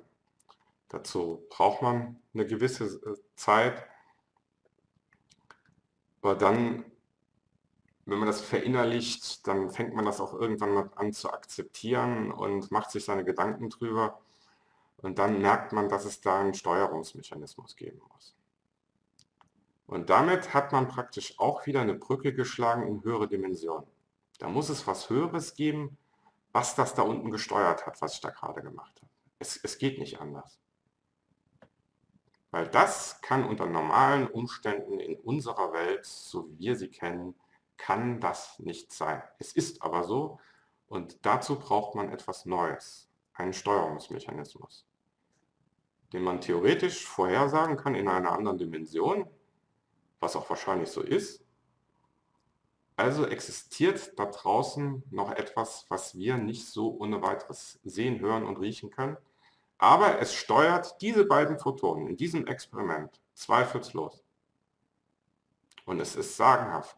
Theoretisch könnte man äh, mit den Photonen oder anderen Teilchen, könnte man zum Beispiel, wenn die sich im Quantenzustand aufhalten, könnte man theoretisch, könnte man eine Nachricht übertragen, theoretisch, äh, ohne Laufzeitunterschied, egal wo im, im, im, im Universum. Ich müsste nur die Photonen irgendwann erzeugen, im Quantenzustand halten, dann sind sie räumlich voneinander unabhängig und dann könnte ich meine Nachricht von dem einen zum anderen übertragen. Das ist so die Theorie äh, von der Verschränkung in Bezug auf offene Nachrichtenübermittlung. Ist noch ein bisschen Utopie, weil wenn man das Photon ein bisschen falsch anfasst, verliert das auch seinen Quantenzustand, dann hört auch die Verschränkung auf. Also wenn man das ein bisschen zu viel antatscht, dann ist es vorbei. Aber daran kann man auch sehen, wie die Physiker auch denken. Die denken schon, was auch logisch richtig ist, äh, an eine Nachrichtenübermittlung ohne Laufzeit. Das, das, das ist der Hammer. Man könnte sogar ein Videobild von Lichtjahre entfernten Planeten übertragen, ohne Laufzeitunterschiede. Solange das Photon in seinem Quantenzustand bleibt, dann wäre das möglich. Ja, also wie gesagt, ihr könnt das, was, was ich sehr, sehr wichtig finde, das, das könnt ihr alles nochmal in, in den äh, Videobeiträgen, die ich da, also die auf der Power-Seite sind, könnt ihr das alle, alles nochmal nachlesen und nachsehen. Und das, das ist wirklich äh, der Wahnsinn. Und äh, ich lese euch noch einen Satz vor. Äh, in Verbindung von Quantenphysik und Bewusstsein. einschließlich höherem Bewusstsein, liegt die Zukunft unserer Wissenschaft und Wissenschaftler. Ich, denk, ich denke, ab hier sind wir spätestens in der vierten Dimension angekommen. Wir kratzen an einer neuen Welt.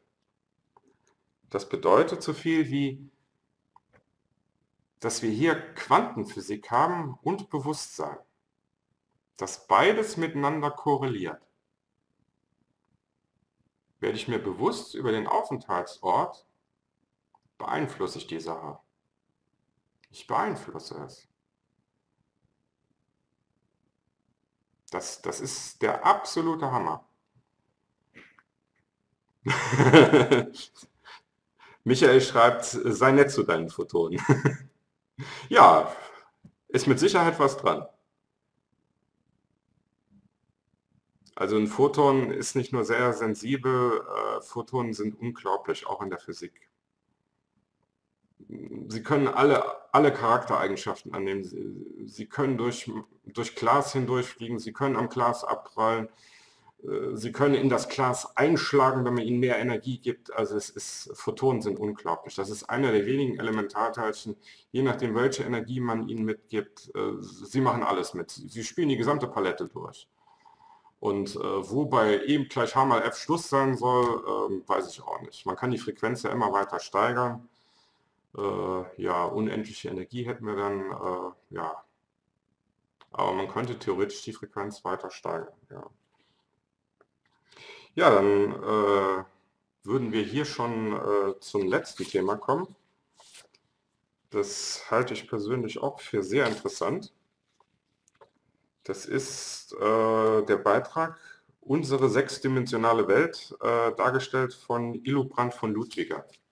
Ich hole mal dazu gerade das richtige Bild. Schärfe. Wo ist es denn? Macht das? Jo, da sind wir. Illubrand von Ludwiger. Quarks. Damit will ich euch nicht abnerven. Beobachten aller Massen des Quarks bricht den Quantenzustand ab. Das habt ihr schon.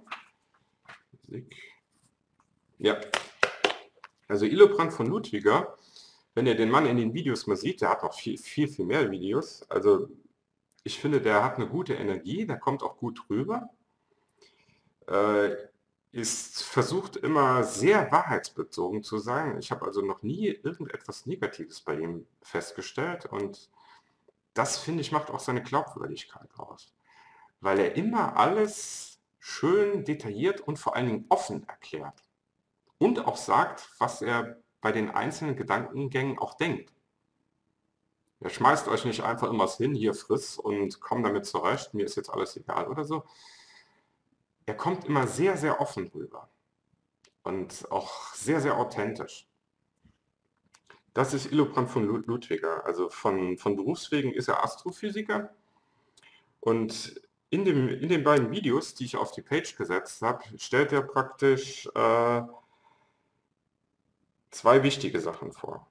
Also er stellt mehrere wichtige Sachen vor, aber äh, ich nehme mal eine wichtige Sache weg. Das ist praktisch äh, die sechsdimensionale äh, Dimensionstheorie des Physikers äh, Burkhard Heim. So heißt der Mensch, Burkhard Heim. Diese Theorie äh, gibt es auch in Wikipedia teilweise. Äh, die ist nicht einfach zu verstehen, auch für Superphysiker nicht. Äh, sie ist unglaublich schwierig zu verstehen. Burkhard Heim ist leider schon verstorben und wird auch teilweise gehandelt wie der zweite Einstein. Das ist deswegen so, weil mit Hilfe seiner Theorie, die von Illobrand von Ludwiger und mit anderen Physikern äh, verifiziert worden ist, man hat zum Beispiel zwei kleine Rechenfehler festgestellt, konnte diese aber korrigieren. Das sind schon zwei kleine, Fest, äh, zwei kleine Fehler, wenn man eine komplette Theorie hat. Das ist ein Babyfurz. Dann korrigiert man das und wenn man Pech hat, läuft das System. Und äh, diese Theorie wurde unter anderem auch äh, an dem DESI-Institut an Hamburg äh, getestet und auch verifiziert. Dort konnte man feststellen, dass mit Hilfe dieser Theorie konnte man einen sechsdimensionalen Zusammenhang zum Beispiel mit einem Proton erklären. Man konnte erklären, wie ein Proton sechsdimensional existiert. dass es nicht nur auf einer Dimension existiert. Da gibt es also Steuerdimensionen äh, unterschiedlichster Natur und wenn das alles so zusammenhängt miteinander, äh, wie, wie, die das da in dem DESI festgestellt haben, dann existiert das Proton so, wie wir es kennen. Aber sie können das dann auf, ein, auf, auf einer Ebene der sechs Dimensionen erklären, also über unseren normalen drei. Dazu muss ich sagen, dass Burkhard von Heim die vierte Dimension mit dazugenommen hat, und zwar die Zeit. Das finde ich nicht so gut, aber er hat es getan und äh, das muss man auch akzeptieren. Man kann das auch vorübergehend machen, da gibt es überhaupt kein Problem. Und er rechnet mit äh, sechs Dimensionen, rechnet er. Und äh, da drin sind bahnbrechende Sachen drin. Aus der Theorie lässt sich sehr viel ableiten. Äh, auch, auch der Charakter von den Protonen, so wie wir es kennen, kann man aus dieser sechsdimensionalen Theorie ableiten. Das ist wesentlich mehr Charakter, als zum Beispiel die Stringtheorie bietet. Die Stringtheorie macht den Anschein, es wird auch viel gesagt, dass da was abzuleiten ist. Aber wenn man die Physiker mal äh, wirklich mal an, den, an der Krawatte nimmt und äh, denen sagt, hier, was kannst du wirklich ableiten, dann kommt da nichts mehr. Die Stringtheorie ist einfach nur eine simple, schöne mathematische Theorie, weiter nichts. Man, da sind keine Werkzeuge enthalten, es war nur einfach ein simpler Versuch. Man darf es nicht verteufeln, ich finde es sogar gut, dass es die Leute gemacht haben, es geht in die richtige Richtung. Aber Burkhard von Heim ist da wesentlich weiter. Er hat einen sehr schwierigen Lebensweg gehabt. Das erklärt Illobrand von Ludwiger auch. Dadurch kann man verstehen, er hat auch so ein paar charakterliche Eigenschaften gehabt. Er war kein einfacher Zeitgenosse, er, er war vielen voraus, ihm ging vieles zu langsam, er wurde viel verprellt, äh, weil vieles nicht verstanden worden ist. Es, da hat die Harmonie zwischen Burkhard Heim und den Physikern, es ist, also mit den Physikern ist das, das, ist, das ist nicht so einfach. Also es hat einfach nicht gestimmt. Äh, Illobrand von Ludwig hat Burkhard Heim sogar selber gekannt. Und äh, er versucht einfach diese Theorie praktisch den Leuten näher zu bringen, weil da wirklich sehr viel dran ist. Und, äh, erklärt, und er erklärte auch noch wesentlich mehr, als ich jetzt hier erkläre. Das kann man sich alles in den Videobeiträgen ansehen. Das war jetzt das eine. Und äh, damit ist praktisch eine Theorie vorhanden, die praktisch über die normalen vier Dimensionen, sage ich mal, so wie wir sie kennen, also ich mag die vierte Dimension nicht, die, die Zeit, weil ich die Zeit für keine eigenständige Dimension halte. Aber ich muss es mal jetzt so formulieren. Gibt es noch zwei weitere, die fünfte und die sechste. Und aus dieser Theorie kann er äh, die Elementarteilchen in den Charakter ableiten, praktisch so, wie wir sie kennen. Damit existieren, äh, man hat das im DESI-Institut auch festgestellt, an, an, anhand eines Protons, und man kann so langsam Schlussfolgerung, dass der Elementarmechanismus, also wie ein Proton existiert und auch gesteuert wird, multidimensional ist. Das ist das, was die Theorie dann sagt. Multidimensionalität. Auch auf Elementarebene. Werden die Physiker nicht gerne hören. Sie suchen ja immer noch nach Higgs-Teilchen, was übrigens äh, nicht, noch nicht offiziell gefunden worden ist. Man vermutet es. Sie versuchen immer so kleine Brücken zu bilden, die sehr schnell einbrechen. Äh, zum Beispiel die berühmteste Theorie ist zum Beispiel die, äh, die Gluonentheorie. Äh, ein Gluon hat man niemals nachgewiesen und das einzige Gluon, was man mal gefunden haben will, äh, das war am DESI-Institut, das war ein Strahl in einem Detektor, den man nie wieder sonst festgestellt hat und man hat gesagt, dass es möglicherweise ein Gluon sein könnte. Gluonen sind Bausteine, die die Elementarbausteine der Quarks in einem Proton zum Beispiel zusammenhalten. Weil die Quarks so unterschiedlich geladen sind, sie müssten eigentlich wegfliegen. Das tun sie nicht. Und da hat man gesagt, dass da Gluonen rumfliegen wie Leim. Man hat sogar eine Farbtheorie, man hat acht Gluonen in die Theorie aufgenommen, die unterschiedlich die Farbe wechseln und auf magische Art in einem Wechselbad der Farben dann äh, die Quarks zusammenhang. Das ist jetzt kein Scheiß, so steht es wirklich in den, in den Geschichtsbüchern und auch bei Wikipedia.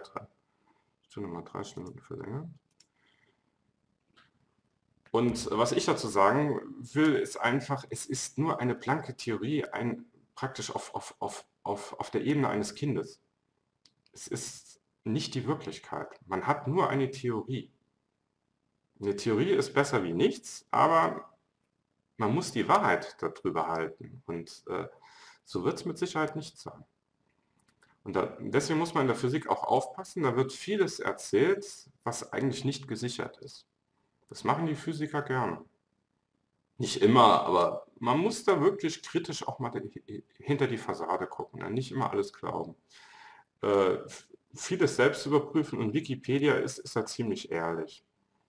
Äh, da kann man sich schon eine ganz gute Meinung bilden. Man muss natürlich den kompletten Artikel lesen.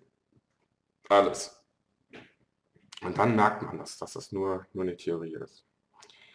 Und äh, dann gibt es noch einen wichtigen Aspekt äh, bei Illobrand von Ludwig, der, äh, der erkennt auch Uri Geller und erklärt vieles über Uri Geller. Was ich persönlich sehr, sehr wichtig finde. Bei Uri Geller, äh, den kennt ihr bestimmt vom Löffelverbiegen her, sage ich jetzt nicht so gerne, werdet auch verstehen, warum. Aber dadurch kennt ihr die alle. Also Uri Geller ist jemand, der der das so kann. Also er hat gewisse, sage ich mal, psychische Kräfte oder auch spirituelle Kräfte oder psychokinetische Kräfte, wie man sie auch immer nennen mag. Er kann das aus dem normalen Wachzustand heraus. Und das ist das Phänomen. Er braucht nicht zu meditieren, er muss keinen höheren Bewusstseinszustand annehmen und was auch immer. Er macht das einfach so. Und das ist das Phänomen. Und was viele nicht wissen, ist, dass Uri Geller wesentlich mehr kann als Löffel verbiegen. Und das ist eine Information, die wirklich äh, in der Welt äh, nicht viel verbreitet wird. Daran zu kommen ist unglaublich schwierig. Das wird auch zurückgehalten. Also Uri Geller äh, ist zum Beispiel an einem Institut, ich will jetzt nicht gesagt sagen getestet worden, weil ich den Ausdruck nicht mag, das, das, mögen so Leute auch nicht, sondern da hat man diese Phänomene mal untersucht. Und das war, glaube ich, irgendwo in Amerika. Illobrand von Ludwiger sagt euch auch welche Universität. Und da hat äh, Uri Geller zum Beispiel in einem Labor eine Uhr gehabt, also eine physische Uhr, so eine Taschenuhr oder so, hat die hier gehalten, hat die entmaterialisiert, das ist gefilmt worden, hat die Hände weiter bewegt nach unten und weiter unten hat er sie wieder materialisiert. Also die Uhr war zwischendurch nicht da. Das hat er einfach so gemacht. Und äh, Illobrand von Ludwig hat dann gesagt äh, zu seinen Kollegen, ja, warum habt ihr denn den Film nicht veröffentlicht? Ja, wenn wir den veröffentlichen, dann, dann fliegen wir sofort vom Campus runter. Dann verlieren wir unsere Reputation und da sind wir hier weg. Die halten uns dann für Idioten, da gibt es kein Geld mehr, da sind wir hier raus. Also was ist passiert? Er hat gesagt, wortwörtlich, wir haben den Film in den Giftschrank geschmissen. Toll. Und der liegt da heute noch. Und ich finde es wirklich sehr, sehr schade, dass wir von, von, von solchen Menschen so wenig wissen. Das halte ich wirklich für sehr, sehr schade. Und äh, die, der öffentliche Druck muss einfach größer werden, äh, dass solche Sachen praktisch äh, in den Vordergrund kommen. Ne? Dass, dass wir auch an solchen Phänomenen auch bewusst teilhaben können dass, dass wir das alle zusammen teilen können. Es kann nicht sein, dass äh, etwas so Wichtiges einfach zurückgehalten wird. Uri Geller hat auch, ein, ich, ich will ihm jetzt nichts Schlechtes, äh, aber er, ist, er, er, will auch mit, mit den Wissenschaftlern nicht so zusammenarbeiten, weil ähm, die wollen ihn immer testen, die sind immer sehr negativ eingestellt. Viele meinen, er wäre ein Scharlatan. Und da gab es auch Versuche mit, die er abgebrochen hat zwischendurch, weil die Energie zu negativ war in dieser Situation.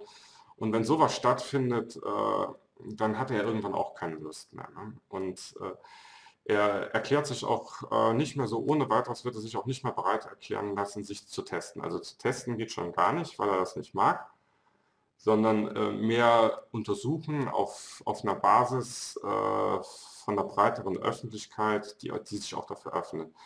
Da würde ich einen Weg noch sehen. Also weil Uri Geller wirklich da wahrscheinlich auch sehr negative Erfahrungen gemacht hat und, und auch äh, ein etwas schwieriger Mensch in der Beziehung ist. Was ich jetzt auch nicht bewerten möchte. Und äh, deswegen die Videos, wenn ihr die, euch die mit Illobrand Ludwig ansieht, äh, dringend auch auf Uri Geller achten. Ne? Dass es da Dinge gibt, die uns da noch nicht gesagt worden sind, die einfach zurückgehalten worden sind, aus den unterschiedlichsten Gründen. Uri Geller hat eben halt ein, eine Gabe, die der absolute Wahnsinn ist. Äh, man muss natürlich mit einer sehr hohen Verantwortung damit umgehen. Und äh, ja, also er ist wirklich äh, ein Lichtblick, ein Meilenstein auch in der Spiritualität. Äh, von ihm können wir sehr, sehr, sehr viel lernen. Und im Augenblick interessiert sich aber dafür keiner. Also nicht viel. Und äh, ich hoffe, dass sich das mal ändert, weil ähm, ich denke, dass so Menschen wie Uri Geller, wenn sie, sage ich mal, sich zu so einer Ebene hocharbeiten würden, wie, sag jetzt mal, wie ein Lichtarbeiter, also versuchen, andere Leute zu helfen, auch bei den Aufwachprozessen zu helfen, äh, also unentgeltlich, weil reich genug ist er, er braucht kein Geld mehr, dann würde er seinen Mitmenschen helfen. Und äh, ich finde, es gibt keine größere Befriedigung äh, oder einer der größten Befriedigungen, also für mich ist es zumindest, anderen Leuten zu helfen. Also wenn sie sich helfen lassen äh, wollen, das ist immer sehr wichtig. Man kann nicht jemandem helfen, ihm irgendwas aufzwingen. Also das, das geht überhaupt nicht. Das, das, das, verbietet sich nahezu. Man kann vielleicht eine kleine Grenze überschreiten, äh, mal jemanden anstupsen, äh, hier guck mal, da gibt es auch noch was. Aber wenn er dann nicht will, will er nicht. Ne? Aber wenn er irgendwann kommt, dann sollte man ihm vielleicht das, was vorgefallen ist, was auch vielleicht sehr negativ war, auch nicht, auch, auch nicht unbedingt vorhalten und da wieder negativ rumreiten. Ich weiß, dass das schwer ist, äh, aber er kommt ja dann. An diesen Augenblick sollte man positiv nutzen und dann auch, sage ich mal, in kleinen Schritten dann anfangen, äh, da sage ich mal auch das Bewusstsein dann zu heben und äh, nicht so große Schritte zu machen, weil die Leute haben ja am, am Anfang immer sehr viele Fragen. Ja, das, das war praktisch schon äh, das, das, das Ende des, äh, des Vortrags. Ich finde, ich bin ganz gut durchgekommen. Habe mich auch nicht zu viel verhaspelt, denke ich. Ja, äh, ich wollte einfach den Schluss nutzen, äh, damit ihr Fragen stellen könnt, weil ich habe euch ja jetzt ganz schön behämmert mit Informationen. Da ist ja wirklich sehr viel geflossen und ähm, ich möchte mich eigentlich auch ein bisschen dafür entschuldigen, aber dieses Thema, ähm, man kann das nicht weiter entzerren. Das tut mir auch an vielen Stellen leid, aber die, die, äh, die High Peaks, äh, wenn ihr die mitnehmt, da habt ihr einiges mitgenommen.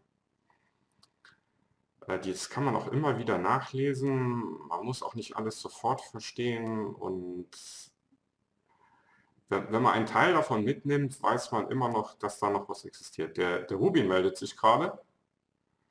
Er reibt sich die Hände. Ja.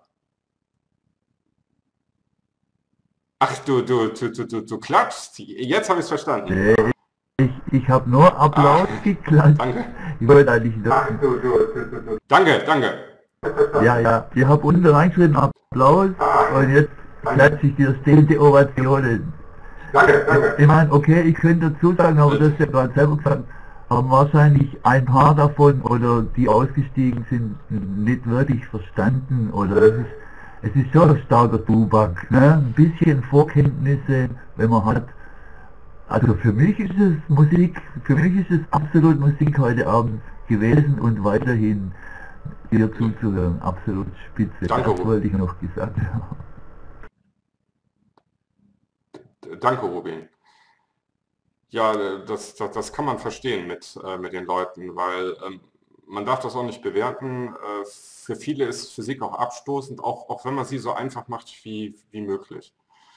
Äh, das habe ich auch bewusst so gemacht, so einfach wie möglich, aber dennoch ist, ist es für viele zu schwer. Und äh, man darf das jetzt nicht bewerten, äh, diese Leute, äh, das ist einfach so. Wenn es für einen zu schwer ist und es geht nicht, dann oder, äh, oder man feststellt, das ist für einen nichts, dann äh, warum soll man jetzt immer noch zwei Stunden davor sitzen und mir zuhören? Also das, das muss dann auch nicht sein. Ne? Äh, Guido, du wolltest du noch was äh, sagen? ja, Also ich fand's super. Ich applaudiere dir auch. Ganz recht herzlich. Das war super. Also ich Danke. hatte mich so schon so ähm, teilweise ein bisschen vorbereitet. Ich habe mich schon einigen äh, Minuten gewidmet äh, bei diesen Sachen, die du auch jetzt gerade mal kurz angeschnitten hattest. Ich kenne das und ich fand das super interessant. Alleine dieser, diese, diese Entdeckung, äh, wie, wie faszinierend das alles ist, wenn man sich so ein bisschen so reinarbeitet, ist, ist das schon ein, ein gigantisch geniales Thema. Weil diese Möglichkeiten alleine durch das Verständnis, äh, wenn man ja, äh, ich sag mal, ähm, alleine schon, schon äh, das bewusste Erkennen von etwas äh, oder das, das bewusste äh, erken erkennen äh, lassen, sage ich jetzt mal, das bringt schon, bringt schon was oder bringt immer Veränderungen. Und äh, das, das ist Ja, toll, das, das auch. wie ja. du das erklärt hast. Ich finde es ganz, ganz toll, wie du das erklärt hast und äh, kann ich, ich konnte es gut nachvollziehen. Äh, vollziehen. ich fand es super, echt klasse. Danke. Ähm, Ja, das, das, das mit dem Bewusstsein, das, das, das war sehr wichtig, diese Erklärung auch mit dem Metabewusstsein, weil viele Leute, äh, die können den Begriff Bewusstsein nicht so gut definieren und mit, mit Hilfe meiner Definition äh, habe ich den Leuten versucht, äh, ein besseres Werkzeug in die Hand zu geben, um jetzt nicht immer nur zu sagen, ich als Mensch, nur ich habe Bewusstsein, was anderes gibt es nicht. Äh, ich, ich, ich, ich, also typisch egomäßig, ne? Aber wenn man philosophisch mal über Bewusstsein nachdenkt, ne, dann hat man die logische Implikation darauf, dass ein Stein Bewusstsein hat. Und das ist ja immer das Fatale bei den Leuten. Ne? Ein Stein hat kein Das ist ja auch Bewusstsein, in das der, nicht in der ne? buddhistischen, in der buddhistischen Lehren wird das ja auch gegeben, dass, dass äh, ich weiß jetzt nicht genau die, diesen Wortlaut, aber in, äh, im Stein äh, schläft das Bewusstsein, im Baum ist es erwacht oder in den Pflanzen ist es erwacht, Der, der, der Baum lebt. Der Baum vollbracht, lebt. oder? Ja, ja, der Baum lebt, ja, okay, Das- das- okay. Hat aber auch ein Bewusstsein. Der, der Baum hat, hat sicher ein Bewusstsein. Er hat auch ein, äh, ein höheres Bewusstsein, denke ich mal, als ein Stein, weil er lebt. Als ein Stein, ja. Er, er hat eine gewisse Energie. Das können Leute beurteilen, die spiritueller veranlagt sind als, als ich. Die können das beurteilen. Also die Energie Also hat ich- er auf ich jeden die- Fall. Äh, Ich kann die Aura auch von den Pflanzen erkennen. Also darum denke ich mir, es lebt, Pflanzen leben natürlich. die, äh, die können auch mit einem also interagieren auf einer gewissen Ebene. Also die, wenn, wenn man ihnen Liebe gibt, äh, teilen die einem das auch mit, zum Beispiel durch Wachstum, durch mehr Blüten. Ähm, Das kann man ziemlich einfach feststellen zum Beispiel. Ja. Also da, da ist nicht nur einfach ein Stoffwechsel, also praktisch das biologische Leben, da ist einfach mehr. Und äh, das ist auch alles äh, mehr oder weniger bewiesen worden. Wenn man Pflanzen äh, negativen Schwingungen aussetzt, also die immer anbrüllt, äh, du weißt ja, also negativ voll äh, macht, äh, sag ich mal, äh, Heavy Metal denen vorspielt, ne, ähm, dann, dann keimen die nicht ein. richtig, also die keimen weniger, äh, teilweise auch, äh, blühen nicht so gut, ne? aber wenn ich eine andere Versuchsgruppe nehme, ne, denen ich zum Beispiel äh, schöne, klassische, harmonische Musik vorspiele, oder wenn ich mich mit denen beschäftige und denen aufrichtig meine Zuneigung mitteile, ne, dann sieht dieser Versuch ganz anders aus. Dann äh, blühen die besser, die, die vermehren sich besser, die quellen besser und äh, das wird ja auch nicht mal verneint in der Wissenschaft. Ich habe das äh, Ja. den Versuch bei mir im Garten gemacht. Also ich habe äh, teilweise nicht verstanden, wieso meine äh, äh, Pflanzen oder oder irgendwelche Sachen, die ich gepflanzt habe, nicht, wieso es nicht funktioniert. Und äh, jetzt gehe ich mit einer ganz anderen Sache dran und alles ist am Blühen und am Wachsen und es ist herrlich. Ähm, Das hört dann auch sehr, nach sehr dem- na- ja. nach dem Mondkalender äh, gehe ich äh, auch etwas, das äh, vereinfacht die Sache auch wesentlich. Mhm. Ja, ich, ich hatte jetzt zum Beispiel am Anfang des Jahres, äh, also ich, ich liebe meine Pflanzen und äh, die haben es mir auch immer äh, gut getan. Und äh, am Anfang des Jahres äh, war ich ziemlich mit mir selbst beschäftigt. Also mit anderen Worten, ich habe weniger an meine Pflanzen gedacht, bin auch äh, nicht mehr so oft hingegangen, habe sie immer so beobachtet, ob da was Neues ist und so. Ne? Und irgendwie ging es denen dann nicht so gut. Ne? Ich hatte auch ein paar Burnouts und die haben auch teilweise schwarze Stellen gekriegt. Und ich habe jetzt vor einem Monat wieder angefangen zu kämpfen mit ihnen, ne? auf die unterschiedlichsten Art und Weisen. Ne? Äh, habe versucht zu doktern, ihnen zu helfen. Ne? Ich, ich habe sogar kleine äh, Quarzsteine reingelegt, ne? auf die unterschiedlichsten Art und Weisen, ihnen, ihnen einen noch besseren Standort gegeben. Ne? Und äh, viele habe ich wieder durchbekommen. Hätte ich jetzt nichts gemacht, dann, dann, dann, dann wären die mir gestorben. Das sind äh, Kakteen, was, die... Was äh, zeigen. Ja. Ich, ich warte. Ja, Menschen wieder da. Also, das ist... Ja ein Radieschen. Ja, Klein, kann man erkennen. Ein kleines Radieschen, ein kleines Radieschen. Das ist ein Radieschen aus meinem Garten. Boah! Alter, das geht ja nicht mit rechten also Dingen zu, die will ich auch haben. Also ich, ich bin, ich bin total äh, fasziniert, was äh, so ein bisschen Experimentieren ausmacht. Also wie gesagt, das ist äh, ein... Super. Ein, ist so, ja. so groß. Ich war begeistert, ich war äh, voller Freude und, und Wahnsinn. Also da kann man schon sehen, dass es irgendwie funktioniert, alleine mit den, mit den, ähm, mit der Denkweise, mit, de, mit der Absicht, der Absicht, ähm, was zu vollbringen, was zu schaffen, was zu verändern das auch und, und, und, und das Ehrliche, diese, diese persönliche Liebe, diese persönliche Zuneigung, die man auch wirklich empfindet zu den Pflanzen. Das, das, das halte ich für, für das absolut Wichtigste. Also die, die, die wirkliche Liebe, die ehrliche Zuneigung. Also ich stehe zum Beispiel manchmal nachts auf und äh, ja, dann kann ich nicht schlafen. Dann gehe ich einfach mal zu meinen Pflanzen und bin neugierig darauf, äh, ob da wieder ein neuer Ableger gekommen ist oder so. Ne? Da bin ich wirklich neugierig und dann suche ich die ganze Pflanze ab. Ne? Und freue mich immer, wenn, wenn, wenn sie da irgendwas gebildet hat. Ne? Das ist ja bei Kakteen nicht so häufig der Fall. Ne? Wenn die mal verzweigen, ist das ja wie ein, wie ein Wunder und da möchte man ja auch dran teilhaben. Ne?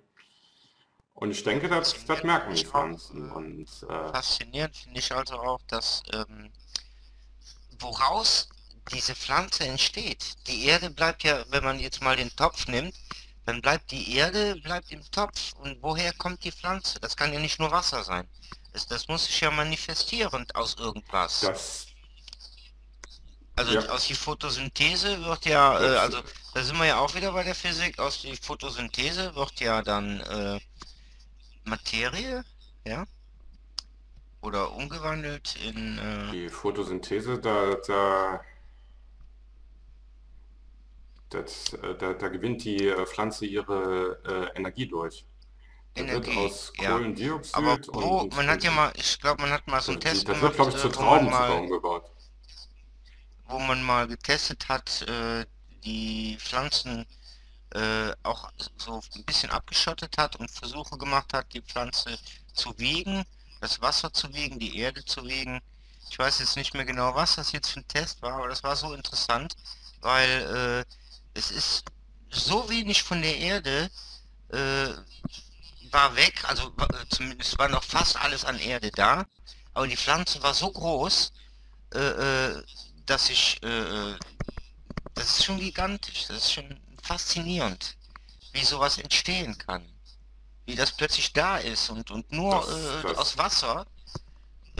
ich denke mir, da ist es auch, da, da muss noch mehr, da muss noch mehr dabei sein. Also ich denke mir, dass das auch mit den Dimensionen zusammenhängt, dass da irgendwas, weil man sagt ja auch hier mit den, auch, mit den Elfen ja. oder oder oder den den den äh, naja, den Elementarwesen, wo hatte ich eben noch gedacht, so Ja. die Elementarwesen, weil es gibt ja, äh, ich habe ja auch in der Metaphysik viel gelesen über Vorsteher und äh, Mhm. oder Erdgürtelvorsteher und äh, so weiter, dass es immer wieder Ja. Wesen gibt, die zu äh, irgendwelchen bestimmten Bereichen arbeiten. Mhm. Das ist halt äh, Ja, irgend sowas gibt es mit, mit Sicherheit. das, was wir natürlich nicht sehen. Das ist, ist klar, sonst könnten wir äh, zu diesen Wesen sagen, hör mal, mach mir mal eine größere Frucht oder oder äh, mach mir mal einen großen Apfel oder ne? Verstehst was ich meine? Ich glaube, die, die würden uns nach Hause schicken, du. Doch, du kannst, du kannst sie, bi- du kannst sie bitten. Wenn du den, Kon wenn du den Kontakt schaffst herzustellen zu einem von deinen Garten- oder Pflanzen Elementarwesen einen Kontakt herstellst, kannst du zu ihm sagen, mach mal größere. Und ich glaube, du machst es dann mit deinen Radieschen. Das funktioniert natürlich nicht so wie auf dem Handy anrufen, sondern das geht dann schon in diese Quantenphysik hinein. Also da ist schon mehr und jetzt äh, kann ich das, was ich vorhin sagen wollte, äh, kurz anbringen, dass diese Quantenphysik uns sehr genau erklärt, wie wir mit unseren Engel, mit den Außerirdischen und mit den Elementarwesen kommunizieren. Nämlich genau wie diesem Doppelspalt-Ding. Wir lassen unsere, das sind neue Quanten, Gedankenquanten, ja, also die Felder, die entstehen, wenn ein Gedanke entsteht, entsteht ja Elektromagnetismus. Zwar wenig, aber er entsteht. Und das hier durch diesen Doppelspalt zu lassen, das ist jetzt rein Science Fiction, aber da erklärt dann die Quantenphysik in etwa, wie man sich so die geistige Welt vorstellen kann. Für mich ist, beantwortet das unglaublich viele Fragen, die kein Pfarrer und kein Philosoph bis hin hinaus erklärt, aber der Quantenphysiker gibt mir auf jeden Fall mal eine Basis. Das ist ja das. Mit den Pflanzen. Das, das, das, das stimmt Was ich vorhin Ja. ganz, am- ganz am Anfang gesagt habe mit dem Pfarrer, der sagt, das ist reine Physik, sage ich auch, ich gehe, ich gehe zu meinen Pflanzen, was, ich gehe zu meinen Pflanzen und fasse die an, mache dann trockene Blätter weg, nimm sie in den Arm und sag wirklich laut zu ihnen, ich liebe euch und ich bin dankbar, dass ihr so toll seid. Und dann lachen die Elementargeister. Ich sehe sie zwar nicht, weil ich halt bloß ein Fleischklopf bin, der nichts sieht, nichts hört und nichts riecht, aber die sind da und die machen was. Und je mehr ich sie lieb, aber nicht so, ich tue jetzt so, als würde ich dich lieben, damit du was für mich tust, nein, ich liebe sie einfach. Bedingungslos. Und wenn sie merken, dass die Liebe bedingungslos Das, ist, das ist das dann Wichtige. tun sie was für mich. Wenn ich sage, hallo, ich liebe dich, deshalb musst du was für mich tun, dann sagt der Engel, netter Versuch, sagt dann der Michael und geht wieder und sagt, ruf mich später nochmal an. Nee, Spaß, aber es ist wirklich, also es muss erst zuerst bedingungslos sein und dann kommt, mh, dann ergibt sich dieser Doppelspalteffekt. Dann wird aus dem Teilchen eine Welle. Und diese, das hat ja der, dieser äh, Peter Breuer hat das ja ziemlich gut erklärt. Beim Elektromagnetismus, je höher die Schwingung wird, also je höher die Frequenz wird, umso weniger braucht Energie. Also dem seine, dem seine hoch, hochschwingende Felder sind ja so, die haben ja Milliwatt, 0,3 Milliwatt Energie und schwingen im 150 Megahertz Bereich. Also da kommt die Kraft kommt nicht mehr aus dem Elektromagnetismus, sondern tatsächlich vermutlich aus der schweren, aus der starken Dingsda-Kraft hier, aus der starken, die du vorher erklärt hast, die so ganz nur ganz eng beieinander sein kann, Mhm. wirken kann. Dass sie daraus kommt, die Übertragungskraft von das neue Partikel. Für mich ist das ein neues Partikel. Seit dem 21.12.2012 haben wir einen neuen Sinn, der uns befähigt, Feinstofflichkeiten wahrzunehmen. Das ist der nächste Sinn. Wer den, den hat jeder Mensch auf der ganzen Welt und wer den erkennen kann und merkt, hoppla, irgendwas ist doch da neu jetzt, anders als vor zwei Jahren. Nun, das das ist ja doppelt falsch. Das, das Interessante noch daran finde ich, dass man das so zerpflücken kann in, in allen Bereichen, die es gibt. Äh, man, man kann zum Beispiel, wenn man jetzt jetzt nur mal die Pflanzen nimmt, ist, ist das Element, Elementar äh, äh, Erde. Man, wenn ich jetzt das Elementar Wasser nehme, dann äh, kann ich das Wasser so äh, äh, imprägnieren mit meinen Gedanken oder mit meiner Absicht oder mit meinem Zeichen oder je nachdem, was auch immer, äh, äh, positiv beeinflussen oder ich kann es natürlich auch negativ beeinflussen, obwohl es das ja Blödsinn wäre. Ähm, aber äh, ich denke mir, dann, dann, könnte man genauso die Luft nehmen. Was könnte man mit der Luft machen? Man könnte äh, äh Gedanken in die Luft äh, bringen oder äh, ich sage jetzt einfach mal und so weiter. Also ich denke mir, das Thema ist so interessant, dass man das in, in allen Bereichen wieder anwenden oder oder oder man findet, überall findet man diese, diese, diese Quanten oder, oder, oder diese Teile, die, wo wir ich mache das mit meinen, das denke ich auch. Mit meinen Plastikflaschen mache ich das sogar. Was? Das Plastik ist ja, das ist ja schädlich, wenn alles Plastik, Wasser aus Plastikflaschen. Erst segne ich mein Wasser und dann bedanke ich mich bei der Plastikflasche. Bedingungslos. Ich bin überzeugt, dass mir das Plastik nichts anhaben kann nichts anhaben will, weil wir lieben uns ja schließlich. Es ist für alles, von Stein, von bis hin zu deinem Kind, alles inzwischen. Das hat vorhin ja auch einer im Chat geschrieben, alles ist alles miteinander. Mit dem Kleinen so im Großen, es tut. Ja. Ich meine, für unsere bisherige ja, die, äh, Erziehung äh, seit 450 Jahren, oder wie lange das schon geht, es ist ein bisschen schwer zu begreifen, Kinder. Ja. Kinder, wir sind alles Götter und Zauberer, wir sind total mächtig.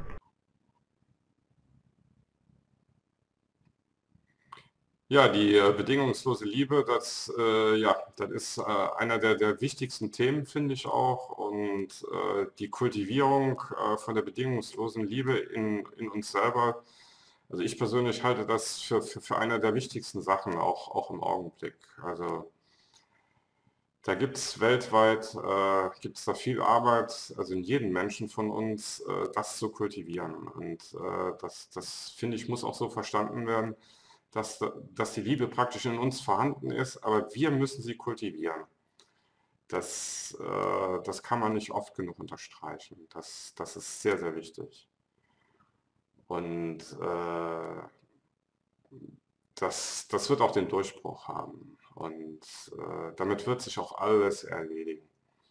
Dieses ganze Betrügen und Belügen und dieses Bevorteilsgehabe, das ist, ich denke, das wird alles mit der Zeit verschwinden. Und äh, das, was hier mal... Ja, Rubin wollte noch was sagen? Ja.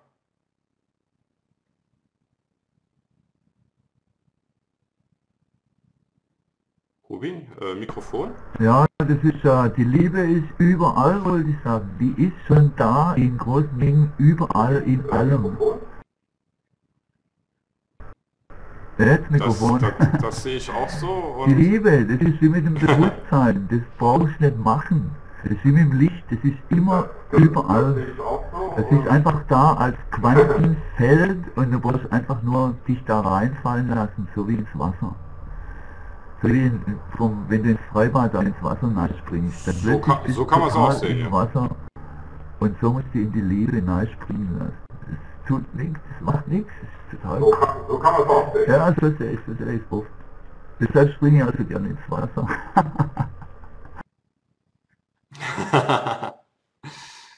Ja, äh, also finde ich einen guten Gedankengang. Also wenn ich den jetzt weiterspinne, äh, könnte man sich das äh, Wasser als, als Liebe vorstellen und äh, wenn man gerne ins Wasser reinspringt, springt man damit gerne in die Liebe hinein. Also ich finde das äh, metaphorisch äh, ziemlich gut und ich lasse das einfach mal so stehen, weil das fand ich jetzt ein super Gedanke vom, vom Ruby einfach mal in die Liebe reinspringen, also mit Liebe ins Wasser zu springen, wenn man sich das Wasser als Liebe vorstellt. Also finde ich jetzt gut, was der Rubin da gesagt hat. Also ja. Das ist ein guter, eine gute Metapher. Vor allen Dingen einfach. Und einfach ist in unserer Zeit leider im Augenblick sehr wichtig. Und wenn man die Sachen nicht, nicht, so einfach wie möglich darstellt, dann, dann ähm, kommt man auch nicht an, an, an die Leute ran. Das, äh, das, das, das geht dann nicht. Dann, dann verliert man ihn. Ja, dann äh, gebe ich euch noch einen Link äh, für die nächste Sendung, also äh, zumindest auf die Beiträge. Der Link für die Videos, der, der wird ja immer veröffentlicht. Das ist jetzt der Link. Äh, dort mache ich dann als nächstes... Also der, der war wieder gut. Pass mal auf, das haben wir gleich. Das geht ganz einfach. Ja, als nächstes machen wir da äh, die äh, Faszination des, des Wassers. Äh, praktisch, dass man Wasser auch als Bewusstseinsüberträger auch verwenden kann. Also das Wasser nicht einfach nur bloß, äh, sage ich mal, bipolares H2O ist, dass äh, Wasser auch wissenschaftlich anerkannt auch noch was anderes ist. Wasser ist einfach, äh, ich sag mal, jetzt nicht eine magische Substanz, aber Wasser ist viel mehr, als wir glauben. Und Wasser ist nicht einfach nur Wasser. Und das möchte ich im nächsten Beitrag auch darstellen. Und äh, ich stelle euch auch noch die feinstoffliche Basis von Energie, Information und Zeit. Die stelle ich euch auch noch da von Dr. Klaus Volkhammer. Das habe ich jetzt erst äh, seit kurzem entdeckt. Und äh, das ist ein Wissenschaftler, der, der tolle Erkenntnisse hat und auch äh, eine überdimensionale Theorie vorstellt, also eine Theorie über höhere Dimensionen und auch äh, Protokolle von Versuchen zeigt, die er durchgeführt hat. Er zeigt auch dann, dass äh, bei dem Versuch es zum Beispiel nicht unerheblich ist, ob wir Vollmond oder Neumond haben. Dass das einen Einfluss hat zum Beispiel auf das Wachstum der Pflanzen. Er hat extra einen Versuch konstruiert, der sehr umhauend ist, aber er ist, sage ich mal, äh, unumstößlich. Es ist ach, der, der, Michael, ja, genau. Michael, du hast recht, ja. Der, der macht das mit einer Waage, genau, genau. Und der Rubin hat noch was, äh, Dr. Emoto, der, der, den meine ich zwar nicht, aber der hat das auch mit dem Wasser gemacht, ja. Das ist praktisch ein Pendant zu dem, was ich dann mache. Genau, das, das sehe ich gerade, genau. Ja, das, das, das ist das, was ich dann als nächstes mache.